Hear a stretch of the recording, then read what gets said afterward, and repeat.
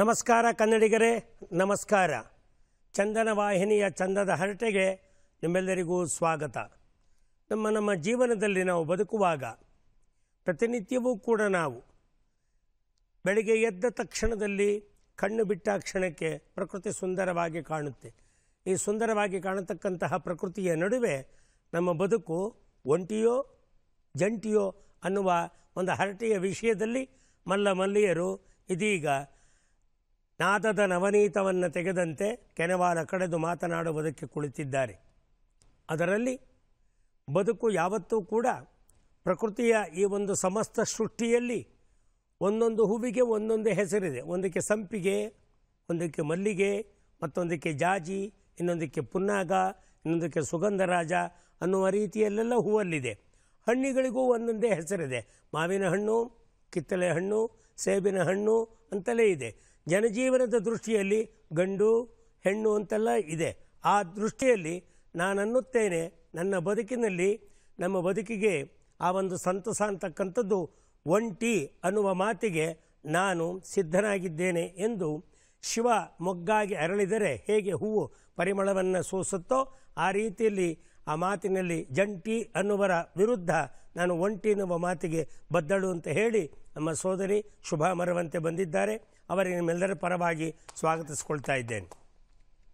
ಆಯಿತು ಸ್ವಾಮಿ, ಮಾವಿನ ಹಣ್ಣು, ಸೇಬಿನ ಹಣ್ಣು ಕಿತ್ತಳೆ ಹಣ್ಣು, ಎಲ್ಲ ಪುರಾಣ ಪ್ರವಚನದಲ್ಲಿ ಹೇಳುವ ಹಾಗೆ ಹೇಳಿಬಿಟ್ರಿ ನೀವು ಪುರೋಹಿತರು.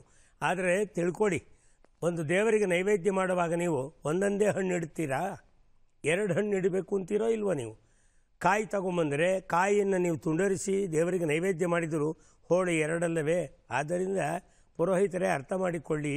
ಒಂಟಿ ಜೀವನ ಅಲ್ಲ ಮನುಷ್ಯನಿಗೆ ಬೇಕಾದದ್ದು ಪ್ರಕೃತಿಯ ಮೂಲಕವೂ ಕೂಡ ಜಂಟಿ ಜೀವನ. ಆದರೆ ನಾನು ಜಂಟಿ ಅನ್ನುವ ಮಾತಿಗೆ ಯಾವತ್ತೂ ಕೂಡ ಬದ್ಧನಾಗಿರ್ತಕ್ಕಂಥವನು ಸಿದ್ಧನಾಗಿದ್ದೇನೆ. ಈ ಯುದ್ಧದ ಮಾತಿಗೆ ನಾನು ಬುದ್ಧನ್ ಅನ್ನುವ ಆ ಒಂದು ಹಾಸ್ಯದ ಸಿಂಚನವನ್ನು ನುಡಿಸುವ ನಮ್ಮ ಆತ್ಮೀಯರಾದ ರಿಚರ್ಡ್ ಲೂಯಿಸ್ ದಯಮಾಡಿಸಿದ್ದಾರೆ. ಅವರಿಗೆ ನಿಮ್ಮೆಲ್ಲರ ಪರವಾಗಿ ಸ್ವಾಗತಿಸಿಕೊಳ್ತಿದ್ದೇನೆ. ಆಯಿತು.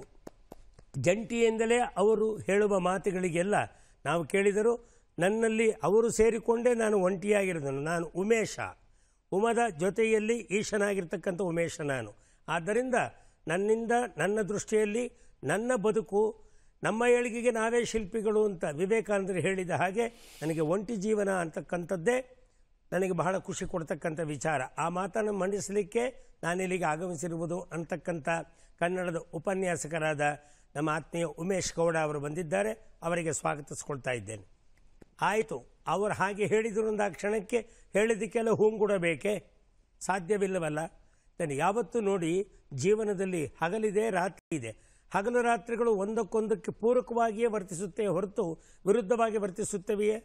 ಇಲ್ಲ. ಹಾಗಾಗಿ ಒಂದು ಸಂಸಾರ ಅನ್ನುವಾಗ ಸಂ ಸ ರ ಅನ್ನುವುದಕ್ಕೆ ಸಂಗೀತ ಸಾಹಿತ್ಯದ ಮೂಲಕ ರಸಿಕತೆಯ ಜೀವನ ಅಂತಕ್ಕಂಥದ್ದು ನೀವೇ ಹೇಳುತ್ತೀರೋ ಇಲ್ಲವೋ? ಆದ್ದರಿಂದ ಅಂಥ ಸಂಸಾರ ನಡೆಸುವವಳಾದ ನಾನು ಸಂಸ್ಕೃತಿಯ ವಿಚಾರದ ಬಗ್ಗೆ ಮಾತನಾಡುವಾಗ ನಾನು ಹೆಣ್ಣಾಗಿ ನನ್ನ ಮನೆಯಲ್ಲಿ ನಾನು ನನ್ನ ಗಂಡನ ಜೊತೆ ಸಂಸಾರ ಮಾಡ್ತಕ್ಕಂಥವಳು, ಜಂಟಿ ಜೀವನವೇ ನಮಗೆ ಅತ್ಯುತ್ತಮವಾದದ್ದು ಅನ್ನುವ ಮಾತಿಗೆ ಬದ್ಧಳಾಗಿ ನಾನು ಬಂದಿದ್ದೇನೆ ಅಂತ ಹೇಳುವ ನಮ್ಮ ಪುಟ್ಟಮ್ಮ ನಾಗಶ್ರೀ ತ್ಯಾಗರಾಜರವರಿಗೆ ನಾನು ಸ್ವಾಗತಿಸಿಕೊಳ್ತಿದ್ದೇನೆ. ಸಹೃದಯರೇ, ನಾನು ಶುಭ ಮರವಂತಿಯವರಿಗೊಂದು ಮಾತು ಕೇಳ್ತಿದ್ದೀನಿ ಒಂಟಿ ಜೀವನ ಅಂತನ್ನುವಾಗ ತಿರುಗಿ ನೀವು ಕಗ್ಗಪ್ರಿಯರು ಮಂಕುತಿಮ್ಮನ ಮೆನಕಗ್ಗೆ ಹೇಳುತ್ತೆ, ಒಂದು ದಿನ ಹೂತೋಟದಲ್ಲಿ, ಒಂದು ದಿನ ಕೆಳದು ಊಟದಲ್ಲಿ, ಒಂದು ದಿನ ಸಂಗೀತದಲ್ಲಿ, ಒಂದು ದಿನ ಶಾಸ್ತ್ರದಲ್ಲಿ, ಮತ್ತೊಂದು ದಿನ ಮೌನದಲ್ಲಿ ಬ್ರಹ್ಮಾನುಭವಿಯಾಗೋ ಮಂಕುತಿಮ್ಮಾನು ಅಲ್ಲಿ ಇಬ್ಬರ ಸಂಖ್ಯೆ ಬರೋದೇ ಇಲ್ಲ. ಒಬ್ಬೊಬ್ಬರೇ ಒಬ್ಬರೇ ಅಂತಹ ಒಂದು ಜಂಟಿಯ ಜೀವನದ ಈ ಜಗತ್ತಿನಲ್ಲಿ ಒಂಟಿ ಜೀವನದ ಮೂಲಕ ಹೀಗೆ ಅನುಭವಿಸಿ, ಅನುಭವಿಸಿಕೊಳ್ಳುತ್ತಾ ಬ್ರಹ್ಮಾನುಭವಿಯಾಗು ಅಂತ ಹೇಳುವ ಮಂಕುತಿನ ಮಂಕುತಿಮ್ಮನ ಮಾತಿಗೆ ನಾನು ಬದ್ದಳು ಅನ್ನುವ ನಿಮ್ಮ ಸಮರ್ಥನೆಯ ಮಾತೇನು? ಚಂದದ ಹರಟೆಗೆ ಎಲ್ರಿಗೂ ಸ್ವಾಗತ, ನಮಸ್ಕಾರ. ಮಾಮ, ನೀವು ಮಾತಾಡ್ತಾ ಹೇಳಿದ್ರಿ, ಮಂಕುತಿಮ್ಮನ ಕಗ್ಗದಲ್ಲಿ ಎಷ್ಟು ಚೆನ್ನಾಗಿ ಹೇಳಿದ್ದಾರೆ. ಆದರೆ ನಾವು ಯೋಚನೆ ಮಾಡ್ತೇವೆ, ಮನುಷ್ಯ ಬರೋದು ಒಂಟಿಯಾಗಿ, ಹೋಗುವುದು ಒಂಟಿಯಾಗಿ. ಹಾಗಾಗಿ ಡಿ ವಿ ಜಿಯ ಒಂದು ಕಡೆ ಹೇಳ್ತಾರೆ, ಮನದಲ್ಲಿ ಎರಡು ಕೋಣೆಯನ್ನು ಮಾಡು, ಒಂದು ಕೋಣೆಯಲ್ಲಿ ಏಕಾಂಗಿಯಾಗಿ ನೀನು ವಿಶ್ರಮಿಸು ಅನ್ನೋ ಒಂದು ಮಾ, ಒಂದು ಕಗ ಬರುತ್ತೆ. ಹಾಗಾಗಿ ಇವತ್ತಿನ ಆಧುನಿಕ ಬದುಕನ್ನು, ಇವತ್ತಿನ ಜೀವನ ಕ್ರಮವನ್ನು ನೋಡಿದರೆ ನಮಗನ್ಸೋದು ಒಂಟಿ ಜೀವನವೇ ತುಂಬ ಶ್ರೇಷ್ಠ ಅಂತ. ಯಾಕಂತಂದರೆ ಇವತ್ತು ಎಲ್ಲೋ ಒಂದು ಕಡೆಯಲ್ಲಿ ಓದಿದೆ ನೆನಪು ನನಗೆ. ಮನೆಯಲ್ಲಿ ಹೆಂಡತಿ ಚೆನ್ನಾಗಿ ಅಡುಗೆ ಮಾಡ್ತಾಳೆ ಅಂತಂದರೆ ನಿಮ್ಮ ಜೀವನ ಹುಗ್ಗಿ, ಸುಗ್ಗಿ. ಯಾಕಂತಂದರೆ ಜೀವನ ಸುಂದರವಾಗಿರುತ್ತೆ ಅಂತ. ಮನೆಯಲ್ಲಿ ಹೆಂಡತಿ ಅಡುಗೆನೇ ಏನೇನೋ ಬರಲ್ಲ ಅಂತಂದರೆ ನಿಮ್ಮ ಜೀವನ ಮ್ಯಾಗಿ. ಅದೇ ನಿಮ್ಮ ಹೆಂಡತಿ ಅಡುಗೆನೇ ಮಾಡಲ್ಲ ಅಂದರೆ ನಿಮ್ಮ ಜೀವನ ಸ್ವಿಗ್ಗಿ. ಅದಕ್ಕೆ ಮದುವೆ ಆಗದೆ ನೀವು ಚೆನ್ನಾಗಿ ಒಬ್ಬರೇ ಇದ್ದರೆ ನಿಮ್ಮ ಜೀವನ ಎಲ್ಲಿ ಬೇಕಾದರೂ ತಿಂದು ಹಿಗ್ಗಿ ಅಂತ. ಹಾಗಾಗಿ ನಾವು ಇವತ್ತು ಏನು ಯೋಚನೆ ಮಾಡ್ತೇವೆ ಅಂತಂದರೆ, ಇವತ್ತಿನ ಜೀವನ ಕ್ರಮಕ್ಕೆ ಗಮನಿಸಿದರೆ ಏನ್ರಿ ಏನು ರೇಟ್ ಆಗಿದೆ? ತರಕಾರಿ ರೇಟ್ ಅಷ್ಟಾಗಿದೆ. ಏನು ಹೋದರೂ ಮುಟ್ಟು ಹಂಗಿಲ್ಲ. ಇವತ್ತಿನ ಜೀವನಕ್ಕೆ ಒಂದು ಸ್ಕೂಲ್ ಫೀಸ್ ಕಟ್ಟಬೇಕು ಅಂದರೆ ಎಷ್ಟು ರೂಪಾಯಿಯನ್ನು ನಾವು ವ್ಯಯಿಸಬೇಕು? ಎಷ್ಟೆಲ್ಲ ಸಮಸ್ಯೆಗಳನ್ನು ನಾವು ಎದುರಿಸಬೇಕು? ಇದನ್ನೆಲ್ಲ ನೋಡಿದರೆ ನಮ್ಮ ಅಧ್ಯಾತ್ಮ ತತ್ವಜ್ಞಾನಿಗಳು ಹೇಳಿದ ಹಾಗೆ ಏಕಾಂತವೇ ಶ್ರೇಷ್ಠ, ಒಂಟಿ ಜೀವನವೇ ಶ್ರೇಷ್ಠ ಅಂತ ನಮಗನ್ಸ್ಬಿಡುತ್ತೆ ಈಗ ಮದುವೆ ಮಾಡಿಕೊಂಡ ಗಂಡ ಹೆಂಡತಿ ಸಮಸ್ಯೆಗಳನ್ನು ಕೇಳ್ತಾ ಹೋದರೆ ರಾಮರಾಮ ಅದರಲ್ಲಿ ಬೇಕಾದಷ್ಟು ವಿಷಯಗಳು ನಮಗೆ ಸಿಕ್ಕತ್ತೆ. ಮೊನ್ನೆ ಒಬ್ಳು ಯಾರೋ ಒಬ್ಳು ಮಾತಾಡ್ತಾ ಇದ್ಲು. ಅವರು ಧರ್ಮಸ್ಥಳ ಸಂಘಕ್ಕೇನೋ ದುಡ್ಡು ಕಟ್ಟಕ್ಕೆ ಬಂದಿದ್ರು ಮಾಮ. ಇಬ್ರು ಮಾತಾಡ್ಕೊತಾ ಇದ್ರು. ಮಾತಾಡ್ತಾ ಇರಬೇಕಾದ್ರೆ ಅವಳು ಹೇಳ್ತಾಳೆ ನನ್ನ ಗಂಡ ನಿನ್ನೆ ಕುಡ್ಕೊಂಡ್ ಬಂದ ಕಣೆ ಅಂತ. ಹೌದು ಕಣೆ ನನ್ನ ಗಂಡನೂ ಕುಡ್ಕೊಂಬಂದ ಕಣೆ ಅಂತ. ಅದಕ್ಕೆ ಅವಳು ಹೇಳ್ತಾಳೆ ನನ್ನ ಗಂಡ ನಾಳೆಯಿಂದ ಕುಡ್ಕೊಂಡು ಬರಲ್ಲ ಅಂತ ಧರ್ಮಸ್ಥಳ ದೇವರ ಆಣೆ ಹಾಕಿದ್ಲು ಅಂತ. ಹೌದೇನೆ? ಹೌದಾ? ನನ್ನ ಗಂಡನು ಕೂಡ ತುಂಬಾ ಒಳ್ಳೆಯವ್ರ ಕಣೆ. ನನ್ನ ಗಂಡ ಕುಡಿಯಲ್ಲ ಅಂತ ನನ್ನ ಕಾಲೇ ಹಿಡಿದ್ಬಿಟ್ರು ಅಂತ. ಆಮೇಲೆ ಅವಳು ಹೇಳ್ತಾ, ಆಮೇಲೆ ಏನಾಯ್ತು? ಮೇಲೆ ಇದ್ದಾಗ ನನ್ನ ಕಾಲ್ಚೇನೇ ಇರಲಿಲ್ಲ ಅಂದ್ಲು. ಹಾಗೆ ಇವತ್ತು ಸಮಸ್ಯೆ ಏನಂತಂದ್ರೆ, ಇವತ್ತು ದಾಂಪತ್ಯ ಅನ್ನೋದು ಕೂಡ ಅನೇಕ ಬಿರುಕುಗಳನ್ನು ಬಿಡುವ ಪಥ್ಯ ಆಗ್ಬಿಟ್ಟಿದೆ. ದಾಂಪತ್ಯ ಅನ್ನೋದೇ ಒಂದು ಪಥ್ಯ ಆಗ್ಬಿಟ್ಟಿದೆ. ಹಾಗೆಲ್ಲ ಯೋಚನೆ ಮಾಡ್ತಾ ಹೋದ್ರೆ ನಮಗನ್ಸತ್ತೆ, ಒಂಟಿ ಬದುಕಿನಲ್ಲಿ ಒಂದು ಸುಖ ಇದೆ, ಒಂದು ಸ್ವಾತಂತ್ರ್ಯ ಇದೆ. ನಾವು ಎಲ್ಲಿ ಬೇಕಾದರೂ, ಹೇಗೆ ಬೇಕಾದರೂ ಇರಬಹುದು ಒಬ್ಬ ಕವಿ ಹೇಳ್ತಾನೆ, ಯಾರು ಒಂಟಿಯೋ ಅವರು ಎರಡೂ ಕಡೆ ಹೇಳ್ಬೋದು ಅಂತ. ಯಾಕಂದ್ರೆ ಇನ್ನೊಂದು ಕಡೆ ಮಲಗುವ, ಮಲಗಿರೋರು ಇರೋದಿಲ್ವಲ್ಲ ಪಕ್ಕದಲ್ಲಿ? ಹಾಗಾಗಿ ಬಹಳ ಸುಖಿ ನಾನು ಎರಡೂ ಕಡೆಯಿಂದ ಎದ್ದು ಬಿಡ್ತೀನಿ ಅಂತ. ಹಾಗಾಗಿ ಇವತ್ತಿನ ಜೀವನ ಕ್ರಮವನ್ನು ಗಮನಿಸ್ಕೊಂಡ್ರೆ ನಾವು ಒಂಟಿತನ ತುಂಬ ಶ್ರೇಷ್ಠ ಅನಿಸುತ್ತೆ. ಯಾರೋ ಒಬ್ಬ ಅಧ್ಯಾತ್ಮ ಸಾಧನೆ ಮಾಡಬೇಕು ಅಂತಂದರೆ ಒಂಟಿತನ ಶ್ರೇಷ್ಠ. ಯಾಕಂದರೆ ಇವತ್ತು ಎಷ್ಟೋ ಜನ ಸಂಸಾರವನ್ನು ಬಿಟ್ಟು ಒಂಟಿಯಾದರು. ಎಲ್ಲೋ ಒಂದು ಅಧ್ಯಾತ್ಮದ ಉನ್ನತ ಸಾಧನೆ ಮಾಡಬೇಕು ಅನ್ನೋವನಿಗೆ ಈ ಒಂಟಿತನವೇ ಶ್ರೇಷ್ಠ ಅಂತ ಅನ್ಸುತ್ತೆ. ಏಕಾಂತ, ನಾವೇನಾದರೂ ಬರಿಬೇಕು ಅಂತಂದ್ರೆ ಯಾವುದು ಬೇಡಪ್ಪ. ಒಬ್ಬರೇ ಇದ್ರೆ ನಮಗೆ ಹೊಸ ವಿಚಾರಗಳು ಬರುತ್ತೆ, ಹೊಸ ಯೋಚನೆಗಳು ಬರುತ್ತೆ, ಹೊಸ ಚಿಂತನೆಗಳು ನಮಗೆ ಬರುತ್ತೆ. ಹೀಗಾಗಿ ಇದನ್ನೆಲ್ಲ ಮೈ ಮೇಲೆ ಎಳ್ಕೊಂಡು ಎಲ್ಲ ಸಂಸಾರದಲ್ಲಿ ಬಿದ್ದು ನರಳಾಡೋದಕ್ಕಿಂತ ಮನುಷ್ಯನಿಗೆ ಒಂಟಿತನ ಅನ್ನೋದು ಒಂದು ಸುಖ, ಅದೊಂದು ಆನಂದವನ್ನು ಕೊಡುತ್ತೆ ಅನ್ನೋದು ನನ್ನ ಅಭಿಪ್ರಾಯ. ರಿಚರ್ಡ್ ಲೂಯಿಸ್ ಅವರಿಗೆ ಒಂಟಿತನದ ಸುಖ ಜಂಟಿತನದಲ್ಲಿಲ್ಲ, ಅದು ದುಃಖ. ಈ ದುಃಖಕ್ಕೆ ಅನವಶ್ಯಕವಾಗಿ ನಾವು ಸಿಲುಕಿಕೊಳ್ಳುವುದಕ್ಕಿಂತ ಸುಖದಲ್ಲಿರುವಷ್ಟು ದಿವಸ ಸಂತೋಷವಾಗಿರುವುದೇ ಶ್ರೇಷ್ಠ. ಅದಕ್ಕೆ ಇಬ್ಬರಾಗುವುದಕ್ಕಿಂತ ಒಬ್ಬರಾಗಿಯೇ ಉಳಿದಿದ್ದೇ ಆದರೆ ನಮ್ಮ ಜೀವನ ಎಷ್ಟು ದೂರಕ್ಕೆ ಎಳೆದರೂ ಕೂಡ ಅದು ಹಿಗ್ಗುವ ಹಾಗೆ ರಬ್ಬರ್ ಥರ ಹಿಗ್ಗಿ ಹೋಗುತ್ತೆ. ಈ ಮ್ಯಾಜಿಕ್ಕೂ ಬೇಡ, ಈ ಲಾಜಿಕ್ಕೂ ಬೇಡ ಈ ಸಂಸಾರದ ಸಿಲುಕಿನಲ್ಲಿ. ಅದು ಮ್ಯೂಸಿಕ್ ಆಗಿದ್ದರೆ ತನ್ನಷ್ಟಕ್ಕೆ ತಾನು ಹಾಡಿಕೊಳ್ಳುತ್ತಾನೆ, ತನ್ನಷ್ಟಕ್ಕೆ ತಾನು ಮಾತಾಡಿಕೊಳ್ಳುತ್ತಾನೆ, ತನ್ನಷ್ಟಕ್ಕೆ ತಾನು ನಡೆದಾಡಿಕೊಳ್ಳುತ್ತಾನೆ, ತನ್ನ ಮೂಲಕ ತಾನು ಸಂತೋಷವನ್ನು ತಾನು ಅನುಭವಿಸಿಕೊಳ್ಳುತ್ತಾನೆ. ಇನ್ನೊಬ್ಬರಿಗೆ ಹೊರೆ ಅಲ್ಲ ಅನ್ನುವುದು ಶುಭ ಮರವಂತೆಯವರ ಮಾತಿನ ವಾದ. ನೀವೇನಂತೀರಿ? ಎಲ್ರಿಗೂ ನಮಸ್ಕಾರ. ಶುಭ ಮರವಂತೆ ಹೇಳಿದ ಮಾತು ನಿಜ ಅಂತ ಅನ್ನಿಸ್ತು ನನಗೆ. ಯಾಕಂದರೆ ಭಾಳ ವರ್ಷ ನಾನು ಒಂಟಿಯಾಗಿದ್ದೆ. ನೀವು ಹೇಳಿದ ಬರುವಾಗ ಒಂಟಿ, ಹೋಗುವಾಗ ಒಂಟಿ. ಮಧ್ಯ ಯಾಕಮ್ಮ ಒಂಟಿ? ಮದ್ಯದ ಬದುಕಿದೆಯಲ್ಲ. ಆದರೂ ಕೂಡ ನಾನು ಮದುವೆ ಆಗೋದಕ್ಕೆ ಹೆದರ್ತಿದ್ದೆ. ಒಂದ್ಸಲ ನನ್ನ ಮೇಷ್ರು ಹಿಂಗೆ ಕಾರ್ಯಕ್ರಮಕ್ಕೆ ಕರ್ಕೊಂಡೋದ್ರು. ಬಾರ ಇವತ್ತೊಂದು ಪ್ರೋಗ್ರಾಮ್ ಕರ್ಕೊಂಡು ಹೋಗ್ತೀನಿ. ಅವ್ರಿಗೆ ಬೆಂಗಳೂರು ಬಂದರೆ ನಾನು ಕರ್ಕೊಂಡು ಹೋಗ್ತಾರೆ. ನನಗೂ ಒಂದು ಐದು ನಿಮಿಷ ಮಾತಾಡು ಅಂತ ಹೇಳ್ತಾರೆ. ಸರಿ ಹೋದ್ವಿ ಇಲ್ಲ ಸರ್, ನನಗೆ ರಿಹರ್ಸಲ್ ಇದೆ. ನಾನು ಹೋಗ್ತಾ ಇರೋದು. ಕಾಲೇಜಲ್ಲಿ ಹುಡುಗರು ಹುಡುಗರು ಇಬ್ಬರು ಇರ್ತಾರೆ, ಬಾ ಅಂತ. ಅಷ್ಟೇ, ಅವ್ರಿಗೆ ಗೊತ್ತು ನಮ್ಗೆ, ಹಂಗೆ ಹೆಂಗೆ ಕರೆದ್ರೆ ಬರ್ತಾರೆ ಅಂತ. ಹೆಣ್ಮಕ್ಳು ಇರ್ತಾರ ಸಾರ್ ಅಂದೆ, ಬಾರೋ, ಅದಕ್ಕೆ ಕರೆದಿರೋದು ಬಾ ಅಂತೇಳಿ ಕರ್ಕೊಂಡು ಹೋದ್ರು. ಪ್ರೋಗ್ರಾಮ್ ನಾನು ಹೇಳಿದೆ, ಸರ್, ನೀವು ಯಾವಾಗಲೂ ಹೇಳಿದ್ದೆ ಜೋಕ್ ಹೇಳ್ತೀರಾ? ಕಾಲೇಜ್ ಹುಡುಗರು, ಈಗಿನ ಜನಾಂಗ, ಆ ಹಳೆ ಜೋಕುಗಳೆಲ್ಲ ರಿಯಾಕ್ಟ್ ಮಾಡಲ್ಲ. ನನಗೆ ಹೇಳ್ಕೊಡ್ತೀನ ಏನು ಮಾತಾಡಬೇಕು ಅಂತ? ಆಯಿತು, ಅಂತಂದರು. ಸರಿ, ಶುರು ಮಾಡಿಬಿಟ್ರು. ಅವರೊಂದು ಶಾಲೆದು ಹೇಳಿದ ಮೇಲೆ ಹೊಸದಕ್ಕೆ ಬರೋದು. ಅವ್ರು ಹೇಳಿಬಿಟ್ರು, ನೋಡಿ, ಈ ಕಡೆಲ್ಲ ಹುಡುಗರಿದ್ದೀರಿ, ಈ ಕಡೆಲ್ಲ ಹುಡುಗಿರಿದ್ದೀರಿ. ನಿಮಗೆ ಒಂದು ಮಾತು ಹೇಳ್ತೀನಿ. ಜೀವನದಲ್ಲಿ ಯಾವ್ಯಾವ ಸಮಯದಲ್ಲಿ ಏನೇನು ಆಗಬೇಕೋ ಅದಾದ್ರೇ ಜೀವನ. ಯಾವುದನ್ನು ಜೀವನದಲ್ಲಿ ಪೋಸ್ಟ್ಪೋನ್ ಮಾಡಬಾರ್ದು ಅಂತಂದ್ರು. ಅವ್ರದ್ದೊಂದು ಹಳೇ technique. If you postpone your life and success gets postponed ಅಂತ ಹೇಳೋದು ಇದು ತಿರ್ಗಾ ಇದೇ ಹೇಳಿದ್ರಲ್ಲ ಮೇಷ್ಟ್ರು ಅಂತ ಅಂದ್ಕೊಂಡ್ರೆ ನಮ್ಮ ಸಾರ್ ಅಂತ ಅದೇ ಹೇಳಿದ ಸಾರು ಹೊಸ್ದೇನಾರ ಇರೋ ಸ್ವಲ್ಪ ತಡ್ಕೋ. ನೋಡಿ ಜೀವನದಲ್ಲಿ ಯಾವ್ಯಾವ ವಯಸ್ಸಲ್ಲಿ ಏನೇನಾಗಬೇಕೋ ಅದು ಆಗಬೇಕು ಅಂತ ನಾನು ಹೇಳಿದ್ನಲ್ಲ? ಎಲ್ಲದಕ್ಕೂ ಒಂದು ವಯಸ್ಸಿದೆ. ಒಂದು ಹದಿನೆಂಟರಿಂದ ಇಪ್ಪತ್ನಾಲ್ಕು ವಯಸ್ಸಲ್ಲಿ ನೀವು ಹೆಣ್ಮಕ್ಳು ಮದುವೆ ಆಗಿಬಿಡ್ಬೇಕು. ಯಾಕಂದರೆ ಆ ವಯಸ್ಸಲ್ಲಿ ಹೆಣ್ಮಕ್ಳು ಫುಟ್ಬಾಲ್ ಇದ್ದಂಗೆ.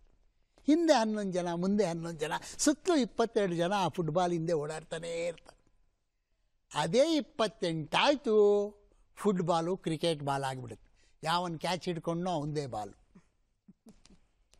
ಮೂವತ್ತೇನಾದ್ರೂ ಆಗಿಬಿಡ್ತು? ಟೇಬಲ್ ಟೆನ್ನಿಸು ನಂಗೆ ಬೇಡ ನಂಗೆ ಬೇಡ. ನೀನೇ ಇಟ್ಕೋ ನೀನೇ ಇಟ್ಕೋ ಅಂತಾರೆ.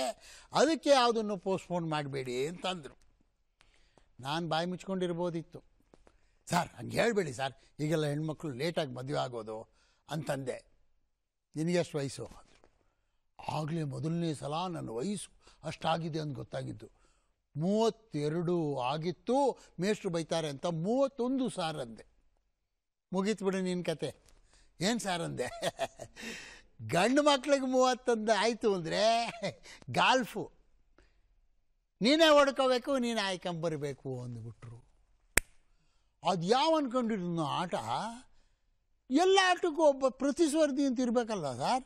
ಅದೇನೋ ಗಾಲ್ಫ್ ಅಂತೆ, ನಾವೇ ಬಾಲ್ ಇಟ್ಕೋಬೇಕು, ನಾವೇ ಹೊಡಿಬೇಕು. ಅದು ಹೋಗಿ ಯಾವುದೋ ಹಳ್ಳದಲ್ಲಿ ಬಿಡುತ್ತೆ ನಾವೇ ಹೊತ್ಕೊಂಬರ್ಬೇಕು ಯಾ, ಏನು ಆಟ ಇದು ಅಂತ ಹಾಂ ಬೇಗ ಮದುವೆ ಮಾಡ್ಕೋ. ಇಲ್ಲದರೆ ಜೀವನ ಎಲ್ಲ ಗಾಲ್ಫ್ ಆಗ್ಬಿಡುತ್ತೆ ಅಂತಂದರು. ರಾತ್ರಿ ಮಲ್ಕೋತೀನಿ, ಅದೇ ಕನಸು. ಆ ಕೋಳಿ ಮುಟ್ಟೆ ಥರ ಒಂದು ಬಾಲು. ನಾನೇ ಬ್ಯಾಟಲ್ಲಿ ಹೊಡೆದಂಗೆ, ಅದು ಹೋಗಿ ಎಲ್ಲೋ ಬಿದ್ದಂಗೆ, ಅದನ್ನು ಆಯ್ಕೊಂಡು ಬಂದಂಗೆ, ಮತ್ತದೇ ಬಾಲು, ಮತ್ತದೇ ಹೊಡೆಯೋದು, ಮತ್ತದೇ ತೊಗೊಂಡು ಬರೋದು. ಅಯ್ಯೋ ಜೀವನ ಹಿಂಗೆ ಆಗಿಬಿಡುತ್ತಲ್ಲ ಅಂತ ರಪ್ ಅಂತ ಮದುವೆ ಆಗ್ಬಿಟ್ಟೆ. ಏನಾದರೂ ಆಗಲಿ, ಯೋಚನೆ ಮಾಡಲೇ ಇಲ್ಲ. ಯಾಕಂದ್ರೆ ಮೇಷ್ಟ್ರು ಅಷ್ಟು ಭಯ ಹುಟ್ಟಿಸ್ಬಿಟ್ಟಿದ್ರು. ಈಗ ಒಂದೊಂದು ಸಲ ಅನ್ಸದೆ ಒಂಟಿಯಾಗಿದ್ದರೆ ಚೆನ್ನಾಗಿರಬೇಕು ಅಂತ. ಅದ್ರ ಜೀವನದಲ್ಲಿ ಒಂದು ಚೇಂಜ್ ಇರಲ್ಲ. ಗಂಡ ಹೆಂಡತಿ ಜಗಳ ಆಡ್ತಾರೆ, ಮಾಡಿರ್ತಾರೆ. ಆ ಜಗಳದಲ್ಲೇ ಒಂದು ಮಜಾ ಇದೆ. ಯಾವುದೇ ಸಿನಿಮಾದಲ್ಲಿ ಕ್ಲೈಮ್ಯಾಕ್ಸ್ ಇಲ್ಲದೆ ಇದ್ದರೆ ಅದು ಸಿನಿಮಾ ಅನ್ಸತ್ತಲ್ಲ, ಆರ್ಟ್ ಸಿನಿಮಾ ಆಗ್ಬಿಡುತ್ತೆ. ಒಂಟಿತನ ಆರ್ಟ್ ಸಿನಿಮಾ ಇದ್ದಂಗೆ. ಏನೋ ಆಗುತ್ತೆ ಏನೋ ಆಗುತ್ತೆ ಏನೋ ಆಗುತ್ತೆ ನೋಡಿ ಏನೂ ಆಗಲ್ಲ. ಇದು ಕಮರ್ಷಿಯಲ್ ಸಿನಿಮಾ ಇದ್ದಂಗೆ. ಠಕ್ ಅಂತ ಅವನೋ ಬರ್ತಾನೆ, ಓದಿತಾನೆ, ಜಾಡ್ಸ್ ಓದಿತಾನೆ ಎಗರ್ಸ್ ಓದಿತಾನೆ, ಹೆಂಡ್ತಿ ಬೈತಾಳೆ, ಕಿರ್ಚಾಡ್ತಾಳೆ. ಆಮೇಲೆ ಒಂದಾಗ್ತಾರೆ, ಸ್ವಲ್ಪ ಬೇರೆ ಆಗ್ತಾರೆ, ಹಳೆ ಫ್ಲ್ಯಾಶ್ ಬ್ಯಾಕಲ್ಲಿ ಇಬ್ಬರು ಹಾಡಿದ ಹಾಡಿರುತ್ತೆ. ಈ ಥರ ಕಲರ್ಫುಲ್ಲಾಗಿರುತ್ತೆ ಲೈಫ್ ಬದುಕು ಒಂದು ಕಮರ್ಷಿಯಲ್ ಸಿನಿಮಾ ಥರ ಮ್ಯೂಸಿಕಲ್ ಸಿನಿಮಾ ಥರ ಇರಬೇಕು, ಆರ್ಟ್ ಸಿನಿಮಾ ಥರ ಆಗಬಾರ್ದು. ಒಂಟಿತನ, ಅದು ನನಗನ್ಸುತ್ತೆ ಒಂಟಿತನ. ಏನೂ ಚೇಂಜ್ ಇರಲ್ಲ, ಏನೂ ಕ್ಲಾಶ್ ಇರಲ್ಲ ಜಗಳನೇ ಇರಲ್ಲ ಅಂತಂದರೆ ಏನು ಅಂತ. ಹೆಂಡ್ತಿ ಅಂದಮೇಲೆ ಅವಳು ಬೈಬೇಕು, ನಾವು ಬೈಬೇಕು, ಒಂಥರ ಅದು ಆ್ಯಕ್ಷನ್ ಸಿನಿಮಾ ಥರ ಇರುತ್ತೆ ಅಂತ ನನ್ನ ಅಭಿಪ್ರಾಯ. ಉಮೇಶ್ ಕೇಳ್ತಿದ್ದೀನಿ. ಒಂದು ಕ್ರಿಕೆಟಿಗೆ ಜಂಟಿ ಜೀವನವನ್ನು ಹೋಲಿಸುವ ರಿಚರ್ಡ್ ಅವರು ಹೇಳ್ತಾರೆ, ಒಂದು ವಿಕೆಟ್ ನಿಟ್ಟರೆ ಅದು ಕ್ರಿಕೆಟ್ ಅಲ್ಲ. ಮೂರು ವಿಕೆಟ್ ನೆಟ್ಟಿ, ಎರಡು ಬೇಲ್ ಸಿಟ್ಟರೆ ಮಾತ್ರ ಅದು ಕ್ರಿಕೆಟ್ ಆಟಕ್ಕೆ ಶೋಭೆ. ಅದನ್ನು ನೋಡಲಿಕ್ಕೆ ಜನ ಬರ್ತಾರೆ. ಒಂಟಿ ಜೀವನ ಅನ್ನೋದು ಗಾಲ್ಫ್ ಇದ್ದಾಗೆ ಒಬ್ಬನೇ ಹೋಗಿ ಒಬ್ಬನೇ ಬಾಲ್ ಎತ್ಕೊಂಡು ಬಂದು ಒಬ್ಬನೇ ಆಡುವ ಆ ಒಂದು ಗುರಿ ಒಳಗೆ ನೋಡುವ ಸಂತೋಷ ಅವನಿಗೂ ಇಲ್ಲ, ಅದನ್ನು ಕಾಣುವ ಸಂತೋಷವೂ ಯಾರಿಗೂ ಇಲ್ಲ. ಆದ್ದರಿಂದ ನಮ್ಮ ಬದುಕು ಅಂತಕ್ಕಂಥದ್ದು ಆನಂದವಾಗಿರಬೇಕು ಅಂತ ಹೇಳಿದ್ದೇ ಆದರೆ, ಅವನು ವೈವಾಹಿಕ ಜೀವನ ಅಂತಕ್ಕಂಥ ಸಂಸಾರದ ನಿರ್ವಹಣೆಯೂ ಕೂಡ ಅವನಿಗೆ ಸಂತೋಷ ಕೊಡ್ತಕ್ಕಂಥದ್ದು. ಒಬ್ಬನುಣುವ ಊಟದಲ್ಲಿ ರುಚಿ ಇಲ್ಲ, ಶುಚಿ ಇಲ್ಲ, ಸೊಗವಿಲ್ಲ, ಇಬ್ಬರಾಗುವ ಎಂದನಂತೆ ಬೊಮ್ಮ. ಆದ್ದರಿಂದ ಅಂತಹ ಬದುಕಿಗೆ ನಿಜವಾದ ಸಂತೋಷದ ಬದುಕು ಅಂತ ಹೇಳಿದರೆ ಜಂಟಿ ಜೀವನವೇ ಶ್ರೇಷ್ಠ ಅಂತ ಹೇಳ್ತಕ್ಕಂಥ ರಿಚರ್ಡ್ ಮಾತಿಗೆ ನಿಮ್ಮ ಮಾತೇನು? ಎಲ್ಲರಿಗೂ ನಮಸ್ಕಾರ. ನಮ್ಮ ಜೀವನ ಗಾಲ್ಫ್ ಆದರೂ ಪರವಾಗಿಲ್ಲ ಮಾಮ. ಬಾಸ್ಕೆಟ್ಬಾಲ್ ಆಗಬಾರ್ದು. ಈ ಮದುವೆ ಅಂದರೆ ಹೆಂಗೆ ಗೊತ್ತಾ? ಎಲ್ಲರೂ ಸೇರಿ ತೊಗೊಂಡೋಗಿ ಒಂದು ಬುಟ್ಟಿ ಬಿಸಾಕ್ಬಿಡ್ತಾರೆ ನಮ್ಮನ್ನು. ಅದಾಗದೇ ಇದ್ರೆ ಸಾಕು ಅಂತ. ಮತ್ತೆ ಯಾರೋ ಈಗ ಮಾತಾಡ್ತಾ ಇದ್ರು ಮಾಮ, ಇಬ್ರು ಹೆಂಗಸರು ಮಾತಾಡ್ತಾ ಇದ್ರು. ಒಬ್ಳು ಕೇಳಿದ್ಲಂತೆ, ಏನೇ ನಿನ್ನ ಗಂಡ ಲಕ್ಷಾಧೀಶ್ವರ ಅಂತ ಹೌದಾ? ಹ್ಞೂ ಅವ್ನು ನನ್ನೊಂದು ಮದುವೆ ಆದಮೇಲೆ ಲಕ್ಷಾಧೀಶ್ವರ ಆಗಿದ್ದು. ಓಹೋ, ಈ ಮುಂಚೆ ಏನಾಗಿದ್ದ? ಕೋಟ್ಯಾಧೀಶ್ವರ ಆಗಿದ್ದ ಅಂತ. ಪಾಪ ಕೋಟಿ ಕಳ್ಕೊಂಡು ಲಕ್ಷಕ್ಕೆ ಬಂದವನು ನಳೆ ಬರ ನೋಡಿ ಹೆಂಗೈತೆ. ನಮ್ಮ ಮನೆಯವಳು ಮೊನ್ನೆ ಪಕ್ಕದ ಮನೆಯವ್ರ ಜೊತೆ ಮಾತಾಡ್ತಾ ಇದ್ಲು. ಒಂದೇ ಉದಾಹರಣೆ. ರೀ ನಿಮ್ಮ ಮನೆಯವ್ರು ಮಾತಾಡಿದ್ದನ್ನು ನಾನು ಕೇಳಿದೆ ಟಿ ವಿಲೆಲ್ಲ ನೋಡ್ತೀನಿ ಭಾಳ ಚೆನ್ನಾಗಿ ಮಾತಾಡ್ತಾರೆ. ಹ್ಞೂ ಅವ್ರು ಅದೊಂದೇ ಮಾಡೋದು ಅಂದವಳು ಅಲ್ಲ ಭಾಳ ಚೆನ್ನಾಗಿ ಮಾತಾಡ್ತಾರೆ. ಪುಸ್ತಕ ಗಿಸ್ತಕ ಎಲ್ಲ ಓದ್ತಾರಾ? ಭಾಳ ಪುಸ್ತಕಗಳು ಇಟ್ಕೊಂಡಿದ್ದಾರೆ. ಓದ್ತಾರೆ, ಅದು ಇದು ತೊಗೊಂಡು ಓದ್ತಾ ಇರ್ತಾರೆ. ತುಂಬ ಪುಸ್ತಕ ಇದೆಯಾ? ತುಂಬ ಪುಸ್ತಕ ಇದೆ. ಅವ್ರ ಹತ್ರ ಇರೋ ಪುಸ್ತಕದಲ್ಲಿ ನಿಮಗೆ ಯಾವ ಪುಸ್ತಕ ಇಷ್ಟ ಅಂತ ಪಕ್ಕದ ಮನೆಯವ್ಳು ಕೇಳಿದ್ರೆ ನಮ್ಮ ಮನೆಯವಳು, ಅವ್ರ ಚೆಕ್ ಬುಕ್ ಅಂದರೆ ಭಾಳ ಇಷ್ಟ ಅಂದ್ಲು ಪುಣ್ಯದ ಆ, ಈ ಥರದ್ದನ್ನು ಕೂಡ ನಾವು ನೋಡ್ಬೋದು. ನನ್ನ ಸ್ನೇಹಿತ ಒಬ್ಬ ಇದ್ದ ಮಾಮ. ಭಾಳ ಬುದ್ಧಿವಂತ. ಭಾಳ ದಟ್ಟಾಗಿ ಮದುವೆ ಆಗ್ಬಿಟ್ಟವನೆ. ಮುಂದೆ ಬರ್ತಾ ಇದ್ದ. ನಾನು ಏ ಯಾಕೋ ಸುರೇಶ, ಏನಾಯ್ತು? ಏನಿಲ್ಲ ಮಾರಾಯ. ನನ್ನ ಹೆಂಡತಿ ಹೊಡೆದ್ಬಿಟ್ಲು. ಪಾಪ ಸಂಸಾರದಲ್ಲಿ ನೋಡಿ ಅವನ ದುಃಖ. ಕೇಳಿದೆ, ಯಾಕೋ ಹೊಡೆದ್ಲು? ಸುಮ್ ಸುಮ್ಮನೆ ಆಗಿಲ್ಲ ಹೊಡಿಯಂಗಿಲ್ವಲ್ಲೋ? ಯಾಕೋ ಹೊಡೆದ್ಲು? ಅಂದೆ. ಅದಕ್ಕೆ ಹೇಳ್ದ, ಇಲ್ಲ, ಇವತ್ತು ಬೆಳಗ್ಗೆ ನಮ್ಮ ಅತ್ತೆ ಮಾವ ನನ್ನ ಹೆಂಡತಿ ಅಪ್ಪ ಅಮ್ಮ ಮನೆಗೆ ಬಂದಿದ್ರು. ಅವಳು ಹೇಳಿದ್ಲು, ನಮ್ಮ ಅಪ್ಪ ಅಮ್ಮ ಮನೆಗೆ ಬಂದಿದ್ದಾರೆ. ಏನಾದ್ರು ತಗೊಂಡು ಬನ್ನಿ ಅಂತ. ನಾನು ಹೋಗಿ ಆಟ ತಗೊಂಡು ಬಂದೆ. ಅದಕ್ಕೆ ಹೊಡೆದು ಬಿಟ್ಲು ಅಂತ. ಈ ಈ ಥರದ್ದು ವಿಷಯಗಳಿದೆಯಲ್ಲ, ಇದೆಲ್ಲ ನಡೆಯೋದು ಸಂಸಾರದಲ್ಲೇ. ಬೇಕಾ ಈ ದುಃಖ? ಅಲ್ಲ, ನಮಗಿದೆಲ್ಲ ಬೇಕಾ ಅಂತ? ಹೀಗೆ ಕಣ್ಣನ ಮಾಮನಿಗೆ ಯಾರೋ ಒಂದ್ಸಲ ಕೇಳಿದ್ರಂತೆ. ಒಬ್ಳು ಹೆಂಡ್ತಿ ಬಂದು ಕೇಳಿದ್ಲು ಕಣ್ಣನ ಮಾಮನಿಗೆ.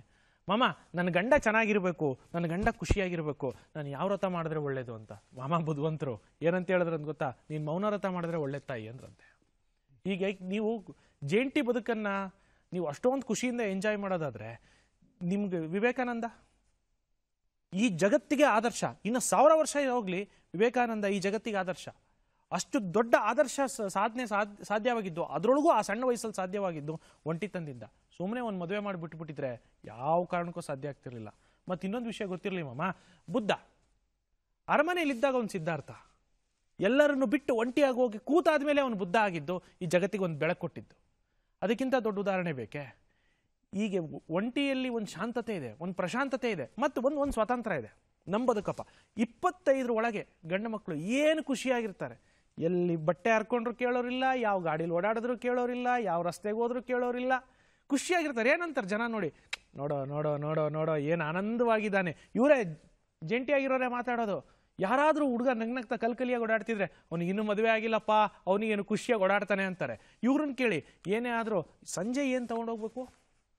ಮನೆಗೆ ಇವತ್ತು ಸಂಜೆ ಏನು ತೊಗೊಂಡೋಗ್ಬೇಕು ಅನ್ನೋದೇ ಚಿಂತೆ. ಸಂಜೆ ಆಯ್ತಾ? ಮುಗ್ದಿಲ್ಲ. ಮತ್ತೆ ನಾಳೆ ಮಗಳಿಗೆ ಏನು ತೆಗೆದಿಡಬೇಕು ಅನ್ನೋ ಚಿಂತೆ. ಅದಾಯ್ತಾ? ಮುಗ್ದಿಲ್ಲ. ಮನೆ ಕಟ್ಟೋದು ಯಾವಾಗ? ಸೈಟ್ ತೊಗೊಳೋದು ಯಾವಾಗ? ಇಡೀ ಜೀವನ ಪೂರ್ತಿ ನನಗಲ್ದೆ. ನನ್ನ ಇಡೀ ಜೀವನನ ಬೇರೆಯವರಿಗೋಸ್ಕರ ನಾನು ದುಡಿತೀನಿ, ಬದುಕ್ತೀನಲ್ಲ, ಅದೇ ಜಂಟಿ. ನಾಗಶ್ರೀ ತ್ಯಾಗರಾಜ್, ಅಲಿಯಾಸ್ ಪುಟ್ಟಮ್ಮನಿಗೆ. ಅವ್ರು ಹೇಳ್ತಾರೆ, ಸ್ವತಂತ್ರವಾದ ಜೀವನದಲ್ಲಿ ಒಬ್ಬ ವ್ಯಕ್ತಿಗೆ ಬೇಡಿಕೆ ಅನ್ನೋಕ್ಕಿಂತ ಅವನಿಗೆ ನೀಡಿಕೆ ಇರುತ್ತೆ.